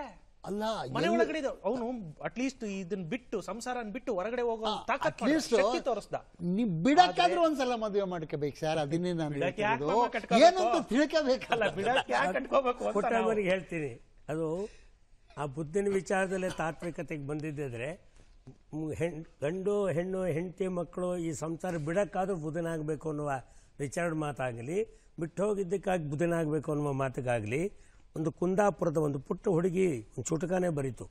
ಬುದ್ಧನಂತಾಗಬೇಕು ಎಂದುಕೊಂಡೆ. ಬುದ್ಧನಂತಾಗಬೇಕು ಎಂದುಕೊಂಡೆ. ಮಧ್ಯರಾತ್ರಿ ಭಾಳ ಗೆಲ್ಲಬೇಕು ಎಂದುಕೊಂಡೆ. ಮನೆಯ ಬಿಟ್ಟು, ಮಡದಿ ಬಿಟ್ಟು, ಮಕ್ಕಳು ಬಿಟ್ಟು, ರಗ್ಗು ಬಿಟ್ಟು ಹೊದ್ದುಕೊಂಡು ಬಿಟ್ಟು ಹೋಗಬೇಕು ಎಂದುಕೊಂಡೆ. ಒಡನೆಯೇ ಬುದ್ಧನ ವಾಕ್ಯವೇ ನೆನಪಾಯಿತು. ಒಡನೆ ಬುದ್ಧನ ವಾಕ್ಯವೇ ನೆನಪಾಯಿತು. ಆಸೆಯೇ ದುಃಖಕ್ಕೆ ಮೂಲ. ಆಸೆಯೇ ದುಃಖಕ್ಕೆ ಮೂಲ. ಆಸೆಯೇ ದುಃಖಕ್ಕೆ ಮೂಲ. ಹೀಗೆಲ್ಲ ಮನೆ ಮಠ ಹೆಂಡತಿ ಮಕ್ಕಳನ್ನು ಬಿಟ್ಟು ಹೋಗಬಾರದು ಎಂದು ರಗ್ಗು ಹೊದ್ದು ಮಲಗಿಕೊಂಡೇನು ಅದು ಜೀವನದಲ್ಲಿ ನಾವು ಬದುಕಬೇಕು ಅನ್ನೋ ಹಾಗಿದ್ದರೆ ಬುದ್ಧನ ಥರ ಹೇಗಾಗಬೇಕು ಅನ್ನುವ ತತ್ವಕ್ಕೆ ಬುದ್ಧ ಮದುವೆ ಆಗಿದ್ದರಿಂದಲೇ ಆ ನಂತರಕ್ಕೆ ಅವನ ಆಲೋಚನೆ ಮಾಡುವಾಗ ಐತೆ ಹೊರತು ಮದುವೆಯೇ ಆಗಿ ಮಕ್ಕಳೇ ಆಗದಿದ್ದರೆ ಆ ರೀತಿ ಯೋಚನೆ ಮಾಡ್ತಿದ್ನ. ಆದ್ದರಿಂದ ಒಂಟಿ ಜೀವನಕ್ಕಿಂತಲೂ ಜಂಟಿ ಜೀವನ ಬೇಕು ಅಂತಕ್ಕಂಥದ್ದಕ್ಕೆ ಅವರಿಗೆ ಕೊಟ್ಟ ಉತ್ತರದ ರಿಚರ್ಡ್ ಮಾತಿಗೆ ಉಮೇಶ್ ಹೇಳುವುದು ಆ ರೀತಿಯಾಗಿ ಆದರೂ ಒಂಟಿ ಜೀವನದಲ್ಲಿ ಏನು ಮಾಡಬೇಕು ಅನ್ನೋ ಚಿಂತನೆ ಮಾಡುವುದಕ್ಕೆ ಬೋಧಿ ವೃಕ್ಷದ ಕೆಳಗೆ ಕುಳಿತನಲ್ಲ ಅಂತ ಅವರು ಹೇಳುವ ಮಾತಿಗೆ ನಿಮ್ಮ ಬೋಧನೆ ಏನು? ಮಾಮ ನಮ್ಮ ಸಾಹಿತ್ಯದ ಮಾತೇ ಇದೆಯಲ್ಲ ಮಾಮ ಬೋಧಿ ಮರದ ಕೆಳಗೆ ನೀ ಕುಳಿತೊಡನೆ ಬುದ್ಧನಾಗುವೆಯಾ ಅಂತ ಹೇಳಿ ಕೇಳಿದೆ. ಬರೀ ನಾವು ಮಾತಾಡಿದ ಕೂಡಲೇ ಅಥವಾ ಬುದ್ಧನನ್ನ ನೆನಪಿಸ್ಕೊಂಡ್ ಕೂಡಲೇ ನಾವು ಬಿದ್, ಬುದ್ಧರಾಗಲ್ಲ, ನೀ ಸಿದ್ಧ ಬುದ್ಧ, ನೀನ್ ಸಿದ್ಧನಾಗಬೇಕು ಅದಕ್ಕೆ ಅಂತೇಳಿ ಹೇಳುತ್ತೆ. ಆಮೇಲೆ ಇವತ್ತಿನ ಕೊರೋನಾ ಟೈಮು ಎಲ್ಲರ ಆ ಸಮಯದಲ್ಲಿ ಯಾರ್ಯಾರಿಗೆ ಕೊರೋನಾ ಪಾಸಿಟಿವ್ ಆಗಿತ್ತೋ ಅವರ ಫೇಸ್ಬುಕ್ ಅಥವಾ ಸ್ಟೇಟಸ್ಗಳನ್ನು ನೋಡಿದ್ರೆ ನಮಗೆ ಇವತ್ತು ವಾಸ್ತವ ಕಾಲದಲ್ಲೇ ಗೊತ್ತಾಗುತ್ತೆ. ಈ ಕ್ವಾರಂಟೈನಿನ ಹದಿನಾಲ್ಕು ದಿನದ ಒಂದು ನರಕ ಯಾವ ಶತ್ರುವಿಗೂ ಬೇಡ ಅಂಥೇಳಿ ಅವರೇ ಎಷ್ಟೋ ಸಲ ಹೇಳ್ಕೊಂಡಿದ್ದಾರೆ. ಒಂಟಿತನ ಅನ್ನೋದು ಎಷ್ಟು ಕಾಡುತ್ತೆ ಅನ್ನೋದು ಆ ಹದಿನಾಲ್ಕು ದಿನದಲ್ಲಿ ನರಕ ಸದೃಶ ಜೀವನವನ್ನು ನೋಡಿ ನಾನು ವಾಪಸ್ ಮರಳಿದ್ದೀನಿ ನಾನು ಮತ್ತೆ ಸ್ವರ್ಗ ಲೋಕಕ್ಕೆ ಬಂದಿದ್ದೀನಿ ಅಂತೇಳಿ ಅವರೇ ಹೇಳ್ತಾರೆ. ಮತ್ತೆ ಈ ಒಂಟಿ ಜೀವನ ಅನ್ನೋದು ಬರೀ ನಾವು ತಪ್ಪನ್ನ ಕಂಡುಹಿಡಿತಾ ಹೋದಾಗಲೇ ಸಿಗೋ ಅಂಥದ್ದು ಮಾಮ. ನನ್ನ ಮಗ ಇದು ತಪ್ಪು ಮಾಡ್ತಾನೆ ನನ್ನ ಗಂಡ ಸಿಟ್ಟು ಮಾಡ್ಕೊಳ್ತಾನೆ ನನ್ನ ಹೆಂಡತಿ ಬರೀ ಗೋಳಾಡಿಸ್ತಾಳೆ ನನ್ನ ಅಜ್ಜ ಬರೀ ತ ಬುದ್ಧಿ ಹೇಳೋದೇ ಆಯಿತು ನಮ್ಮ ಅಜ್ಜಿ ಬರೀ ಏನು ಅಡುಗೆನೇ ಮಾಡಲ್ಲ, ಈ ರೀತಿ ತಪ್ಪು ಹುಡುಕಿ ಹುಡುಕಿ ಹುಡುಕಿ ಹುಡುಕಿ ಹುಡುಕಿ ನಾವು ಒಂಟಿ ಹಾಕ್ತಾ ಹೋಗ್ತೀವಿ ಹೊರತು. ಸಕಾರಾತ್ಮಕ ಭಾವನೆಯಿಂದ ನಾವು ನೋಡೋ ದೃಷ್ಟಿಕೋನದಿಂದ ಮಾಡಿದಾಗ ಮಾತ್ರ ನಮಗೆ ಜಂಟಿತನ ಅನ್ನೋದು ನಮಗೆ ಸಿಗೋ ಅಂಥದ್ದು. ಹಾಗಾಗಿ ಸಾಹಿತ್ಯದ ಒಂದು ಮಾತು ಹೇಳುತ್ತೆ, ಹೃದಯದಲ್ಲಿ ದ್ವೇಷ, ಮನಸ್ಸಿನಲ್ಲಿ ವಿಷ, ಬುದ್ಧಿಯಲ್ಲಿ ಕಸ ಇದ್ದಾಗ ನೀ ಒಂಟಿ. ಹೃದಯದಲ್ಲಿ ದ್ವೇಷ, ಮನಸ್ಸಿನಲ್ಲಿ ವಿಷ, ಬುದ್ಧಿಯಲ್ಲಿ ಕಸ ಇದ್ದಾಗ ನೀ ಒಂಟಿ. ಅದೇ ಹೃದಯದಲ್ಲಿ ಪ್ರೀತಿ, ಮನಸ್ಸಿನಲ್ಲಿ ಕಾರುಣ್ಯ ಬುದ್ಧಿಯಲ್ಲಿ ಸಮರಸದ ನೀತಿ ಇದ್ದಾಗ ಮಾತ್ರ ನೀ ಜಂಟಿ ಅಂತೇಳಿ ಹೇಳುತ್ತೆ. ಅದು ಆ ಮಾತಾದರೆ ಜಂಟಿತನ ಅನ್ನೋದು ಕೇವಲ ಒಂದು ಲೌಕಿಕ ಬದುಕಿಗೆ ಮಾತ್ರ ಅಲ್ಲ ಮಾಮ. ಅದು ವಿವಾಹ ಇರ್ಬೋದು, ಸ್ನೇಹ ಇರ್ಬೋದು ಶೈಕ್ಷಣಿಕ ಹಂತದಲ್ಲಿರುವಂಥ ಸ್ನೇಹ ಇರ್ಬೋದು ಅಥವಾ ನನ್ನ ತಂದೆ ಮಗಳ ಒಂದು ಬಾಂಧವ್ಯ ಇರ್ಬೋದು ಅದು ಕೂಡ ಜಂಟಿತನವೇ ಆಗುತ್ತೆ. ಮಾ ಒಂದು ಸಾ, ಒಂದು ಲೌಕಿಕ ಜಗತ್ತಿನ ಒಂದು ಸಂಬಂಧಗಳ ಒಟ್ಟಿಗೆ ನಾವು ತಗೊಳ್ಳೋಂಥ ಆಹಾರ ಪದಾರ್ಥಗಳನ್ನು ನೋಡಿ ಮಾಮ, ಅಲ್ಲೂ ಕೂಡ ಜಂಟಿತನ ಇರುತ್ತೆ. ನಾವು ತಿಂಡಿ ತಗೊಳ್ಳೋಣ. ಒಂದು ಇಡ್ಲಿ ತಗೊಂಡ್ರೆ, ಬರೀ ಇಡ್ಲಿ ತಿಂತೀವ ಮಾಮ? ಇಡ್ಲಿಗೆ ಒಂದು ಚಟ್ನಿ, ಸಾಂಬಾರ್ ಅಂತಿರುತ್ತೆ. ದೋಸೆಗೆ ಒಂದು ಆಲೂಗಡ್ಡೆ ಪಲ್ಯ, ಚಟ್ನಿ ಇರಬೇಕು. ಒಂದು ಚಿತ್ರಾನ್ನ ತಗೊಂಡ್ರೆ ಪಕ್ಕದಲ್ಲಿ ಒಂದು ಬಜ್ಜಿ ಇರಬೇಕು. ಒಂದು ಪಲಾವ್ ತಗೊಂಡ್ರೆ ಪಕ್ಕದಲ್ಲಿ ಒಂದು ರಾಯ್ತ, ಮೊಸರನ್ನ ಅನ್ನೋದಿರಬೇಕು. ಕೈ ಬೆರಳುಗಳು ಕೂಡ ಯಾವುದೇ ಒಂದೊಂದು ಬೆರಳು ಒಂದೊಂದು ಉದ್ದ, ಅಳತೆ ಎಲ್ಲ ವ್ಯತ್ಯಾಸ ಇದ್ರೂ ಕೂಡ ಆ ಆಹಾರ ಪದಾರ್ಥವನ್ನ ತಗೊಂಡಾಗ ಒಂದು ಬಗ್ಗತ್ತೆ, ಒಂದು ಬಾಗತ್ತೆ, ಇನ್ನೊಂದು ಹಿಗ್ಗತ್ತೆ, ಎಲ್ಲ ಮಾಡಿ ಆಹಾರ ಪದಾರ್ಥಗಳನ್ನ ತಗೊಳ್ತೀವಿ. ಆಹಾರ ಪದಾರ್ಥದಲ್ಲೂ ಕೂಡ ನಾವು ಜಂಟಿತನವನ್ನೇ ನೋಡ್ತೀವಿ. ಇನ್ನು ಸಾಹಿತ್ಯದಲ್ಲಿ, ನೀವೇ ಮದುವೆಯ ಶಾಸ್ತ್ರದಲ್ಲಿ ಹೇಳ್ತೀರಾ, ನಿನ್ನ ಬಾಂದಳದಂತೆ ನನ್ನ ಮನವಿರಲಿ, ನಿನ್ನ ಸಾಗರದಂತೆ ನನ್ನ ಎದೆ ಇರಲಿ ಅಂತೇಳಿ ಕುವೆಂಪು ಹೇಗೆ ಹೇಳಿದ್ರು. ಇನ್ನು ಡಿ ವಿ ಜಿ ಅವರು ಆನಂದ ನಿಧಿ ನೀನು, ಆಕಾಂಕ್ಷಿ ನಾನು ಅಮೃತ ವರ್ಷಿಣಿ ನೀನು, ಅಳುಬೀಡು ನಾನು ಅಂತೇಳಿ ಡಿ ವಿ ಜಿ ಅವ್ರು ಹೇಗೆ ಹೇಳಲಿಕ್ಕೆ ಸಾಧ್ಯ ಆಗುತ್ತೆ? ಇನ್ನು ನಾನು ಕಡಲು, ನೀನು ಮೀನು, ನಿನ್ನೊಳೀಸಿ ನಲಿಯುವೆ. ಇವೆಲ್ಲ ಸಾಹಿತ್ಯ ಬರ್ಲಿಕ್ಕೆ ಸಾಧ್ಯ ಆಗ್ತಿತ್ತ ಮಾಮ? ಇನ್ನೊಂದೇ ಒಂದು ಘಟನೆ ನಮಗೆ ಜಂಟಿತನ ಅನ್ನೋದು ಎಷ್ಟು ಶ್ರೇಷ್ಠ ಅನ್ನೋದನ್ನ ತಿಳಿಸುತ್ತೆ. ಒಬ್ಬ ತಂದೆ ಗಾಳಿಪಟವನ್ನ ಬಿಡ್ತಾ ಬಿಡಿಸ್ತಿರ್ತಾನೆ ನೂಲ್ನಲ್ಲಿ ಆ ಗಾಳಿಪಟ ಗಾಳಿಯಲ್ಲಿ ಹಾರಾಡ್ಕೊಂಡು, ತೇಲಾಡ್ಕೊಂಡಿರುತ್ತೆ. ಮಗಳು ಬರ್ತಾಳೆ, ಕೇಳ್ತಾಳೆ ಅಪ್ಪ, ಗಾಳಿಪಟ ಎಷ್ಟು ಚೆನ್ನಾಗಿ ಹಾರಾಡ್ತಾ ಇದೆಯಲ್ವಾ ಅಂತೇಳಿ. ಅಪ್ಪ ಕೇಳ್ತಾಳೆ, ಮಗಳೇ, ನಿನಗೊಂದು ಪ್ರಶ್ನೆ ಕೇಳ್ತೀನಿ. ನೋಡಿ ಈ ಗಾಳಿಪಟ ಇದೆಯಲ್ಲ, ಅದು ಇಷ್ಟು ಚೆನ್ನಾಗಿ ಹಾರಾಡ್ಕೊಂಡಿದೆ. ನಾನು ಅಕಸ್ಮಾತ್ ಆ ದಾರವನ್ನು ಕತ್ತರಿಸಿದ್ರೆ ಏನಾಗುತ್ತಮ್ಮ? ಅಂತ ಕೇಳ್ತಾಳೆ. ಏನಾಗುತ್ತೆ ಅಪ್ಪಾಜಿ? ಚಂದ ಹಾರಾಡ್ತಾ ಇದ್ದಿದ್ದಂಥ ಗಾಳಿಪಟ ಹರಿದು ಎಲ್ಲೋ ಹೋಗಿ ಮೂಲೆಗೆ ಹೋಗಿ ಸೇರುತ್ತೆ ಅಂತೇಳಿ ಹೇಳ್ತಾಳೆ. ಅವಾಗ ತಂದೆ ಒಂದು ನೀತಿ ಹೇಳ್ತಾನೆ, ನೋಡಪ್ಪ, ಗಾಳಿಪಟ ಮತ್ತು ದಾರ ಅನ್ನೋದು ಎರಡು ನಡುವಿನ ಇರುವಂಥ ಒಂದು ಬಾಂಧವ್ಯ. ಈ ಬಾಂಧವ್ಯ ಯಾವಾಗ ನಾವು ಕತ್ತರಿಸ್ಬಿಡ್ತೀವೋ ಅವಾಗ ಆ ಗಾಳಿಪಟಕ್ಕೆ ಅಸ್ತಿತ್ವವೇ ಇರಲ್ಲ. ಈ ಬಾಂಧವ್ಯ ಅಥವಾ ಜಂಟಿತನ ಅನ್ನೋದು ಈ ರೀತಿ ಗಾಳಿಪಟ ಮತ್ತು ದಾರದ ಹಾಗೆ ಇರಬೇಕು. ಹಾಗಾಗಿ ಯಾವುದೇ ವೈವಾಹಿಕ ಆಗಲಿ ಅಥವಾ ತಂದೆ ಮಗಳ ಬಾಂಧವ್ಯ ಆಗಲಿ, ಯಾವುದಕ್ಕೆ ಆಗಲಿ, ಸ್ನೇಹ ಸಂಬಂಧವೇ ಆಗಲಿ, ಜಂಟಿತನವೇ ಶ್ರೇಷ್ಠ. ಅದ್ರ ಗಾಳಿಪಟದ ಹಗ್ಗ ಕೆಳಗೆ ಎಳೆದಷ್ಟು ಅದು ಮೇಲೆ ಹಾರ್ಲಿಕ್ಕೆ ಆಗೋದಿಲ್ಲ. ಮತ್ತೆ ಇನ್ನೊಂದು ಎಳೆದಷ್ಟು ಅದು ದೂರ ಹೋಗ್ಲಿಕ್ಕೆ ಸಾಧ್ಯ ಆಗುತ್ತೆ. ಹರಿದಷ್ಟು ಅದು ಎತ್ತರಕ್ಕೆ ಹೋಗುತ್ತೆ ಅಂತ. ನಾಗಶ್ರೀ ಅವರು ಊಟದ ಉದಾಹರಣೆ ತಿಂಡಿ ಉದಾಹರಣೆ ಬಹಳ ಕೊಟ್ರು. ಮಸಾಲ ದೋಸೆ ವಿತ್ ಪಲ್ಯ ಆ, ಪೊಂಗ ಇದು ಯಾವುದು? ಪಲಾವು ಮೊಸರು ಬಜ್ಜಿ. ಮೊಸರು ಬಜ್ಜಿ. ಎಲ್ಲ ಖಾರದ ಐಟಮ್ಮೆ. ಅದಕ್ಕೆ ಎರಡೆರಡು ಬೇಕು. ಸಕ್ಕರೆ ಪೊಂಗಲ್ಲು? ಒಂದೇ. ತಿಂದಷ್ಟು ಸಿಹಿ. ಆದ್ರೆ ಆ ಸಕ್ಕರೆ ಪೊಂಗಲ್ ಮಾಡ್ಲಿಕ್ಕೆ ಬೇಕಾಗಿರೋ ಪದಾರ್ಥ ಕೈ ಬೆರಳು ಕೈ ಬೆರಳು ಇದನ್ನೆಲ್ಲ ಸಹೃದಯ ಪ್ರೇಕ್ಷಕರೇ. ನಮ್ಮ ಒಂದು ಸೃಷ್ಟಿಯೊಳಗೆ ಇರತಕ್ಕಂಥದ್ದು ಒಂದು ಗಂಡು ಒಂದು ಹೆಣ್ಣು. ಆ ಗಂಡು ಹೆಣ್ಣುಗಳ ಸಂಗಮವೇ ಒಂದು ಬದುಕಿನ ಚಿಗುರೊಡೆಯುವ ಕನಸು. ಅಂಥ ಚಿಗುರೊಡೆಯುವ ಕನಸಿಗೆ ಒಂಟಿಯಾಗಿ ಬಂದು ಜಂಟಿಯಾಗಿ ಸೇರಿ ತನ್ಮೂಲಕ ನಮ್ಮ ಜಗತ್ತಿಗೆ ನಾವು ಕೊಡತಕ್ಕಂತಹ ಒಂದು ಬದುಕಿನ ಸಾರ್ಥಕತೆಯೇ ಈ ಜೀವನದ ಸಾರ. ಹರಿವ ನದಿಗಳೆರಡು ಸೇರಿ ನೀರು ನೀರ ಸೇರಿತು. ಆಯಿತಲ್ಲ ಸಂಗಮ, ಭಿನ್ನ ಭಾವ ಹೋಯಿತು. ನದಿಗಳು ಹರಿಯುವಾಗ ಒಂಟಿಯಾಗಿ ಬರುತ್ತವೆ, ಸಮುದ್ರಕ್ಕೆ ಸೇರುವಾಗ ಜಂಟಿಯಾಗುತ್ತವೆ. ಅವೆರಡು ಜಂಟಿಯಾಗಿ ಸಮುದ್ರ ಸೇರಿದಾಗ, ಆ ಸಮುದ್ರದಲ್ಲಿ ಮುಳುಗಿದಾಗ ಅಲ್ಲಿ ಮುತ್ತು ಚಿಪ್ಪುಗಳ ಮೂಲಕ ರತ್ನದ ಹವಳಗಳು ದೊರೆಯುತ್ತವೆ. ಇಂತಹ ಒಂದು ದೊರೆಯುವ ಸಮುದ್ರದ ಈ ಸಂಸಾರದಲ್ಲಿ ನಾವು ಏಕಾಂತವಾಗಿದ್ದಾಗ ಒಂಟಿ, ಲೋಕಾಂತವಾಗಿದ್ದಾಗ ಜಂಟಿ. ಇಂತಹ ಲೋಕಾಂತದ ಜಂಟಿಯು ಏಕಾಂತದ ಒಂಟಿತನಗಳ ಮೂಲಕ ನಮಗೆ ಒಂಟಿತನ ಕಾಡದಂತೆ, ಜಂಟಿತನದಲ್ಲಿ ಜಗಳ ಬಾರದಂತೆ ಬದುಕತಕ್ಕಂಥ ಸಾಮರಸ್ಯ ಇದೆಯಲ್ಲ, ಅದನ್ನು ನಮ್ಮ ಜೀವನದ ಐದು ಬೆರಳೆ ಅರ್ಥ ಮಾಡುತ್ತೆ. ಕಣ್ಣೆರಡು, ಕಿವಿ ಎರಡು, ಅದರ ಜೊತೆಗೆ ನಮಗೆ ಬೇಕಾಗಿರ್ತಕ್ಕಂಥದ್ದು ಬಾ, ಬಹಳ ಮುಖ್ಯವಾದಂಥ ಒಂದು ಮುದ್ದುರಾಮನ ಮನಸ್ಸಿನ ಪದ್ಯಗಳಲ್ಲಿ ನಾವು ಹೇಳ್ತಕ್ಕಂಥ ಒಂದು ವಿಷಯ ಆದರೆ ನಮ್ಮ ನಾಯಿದು ಬೆರಳುಗಳು ಒಂದಂತ ಒಂದಂತಿಲ್ಲ.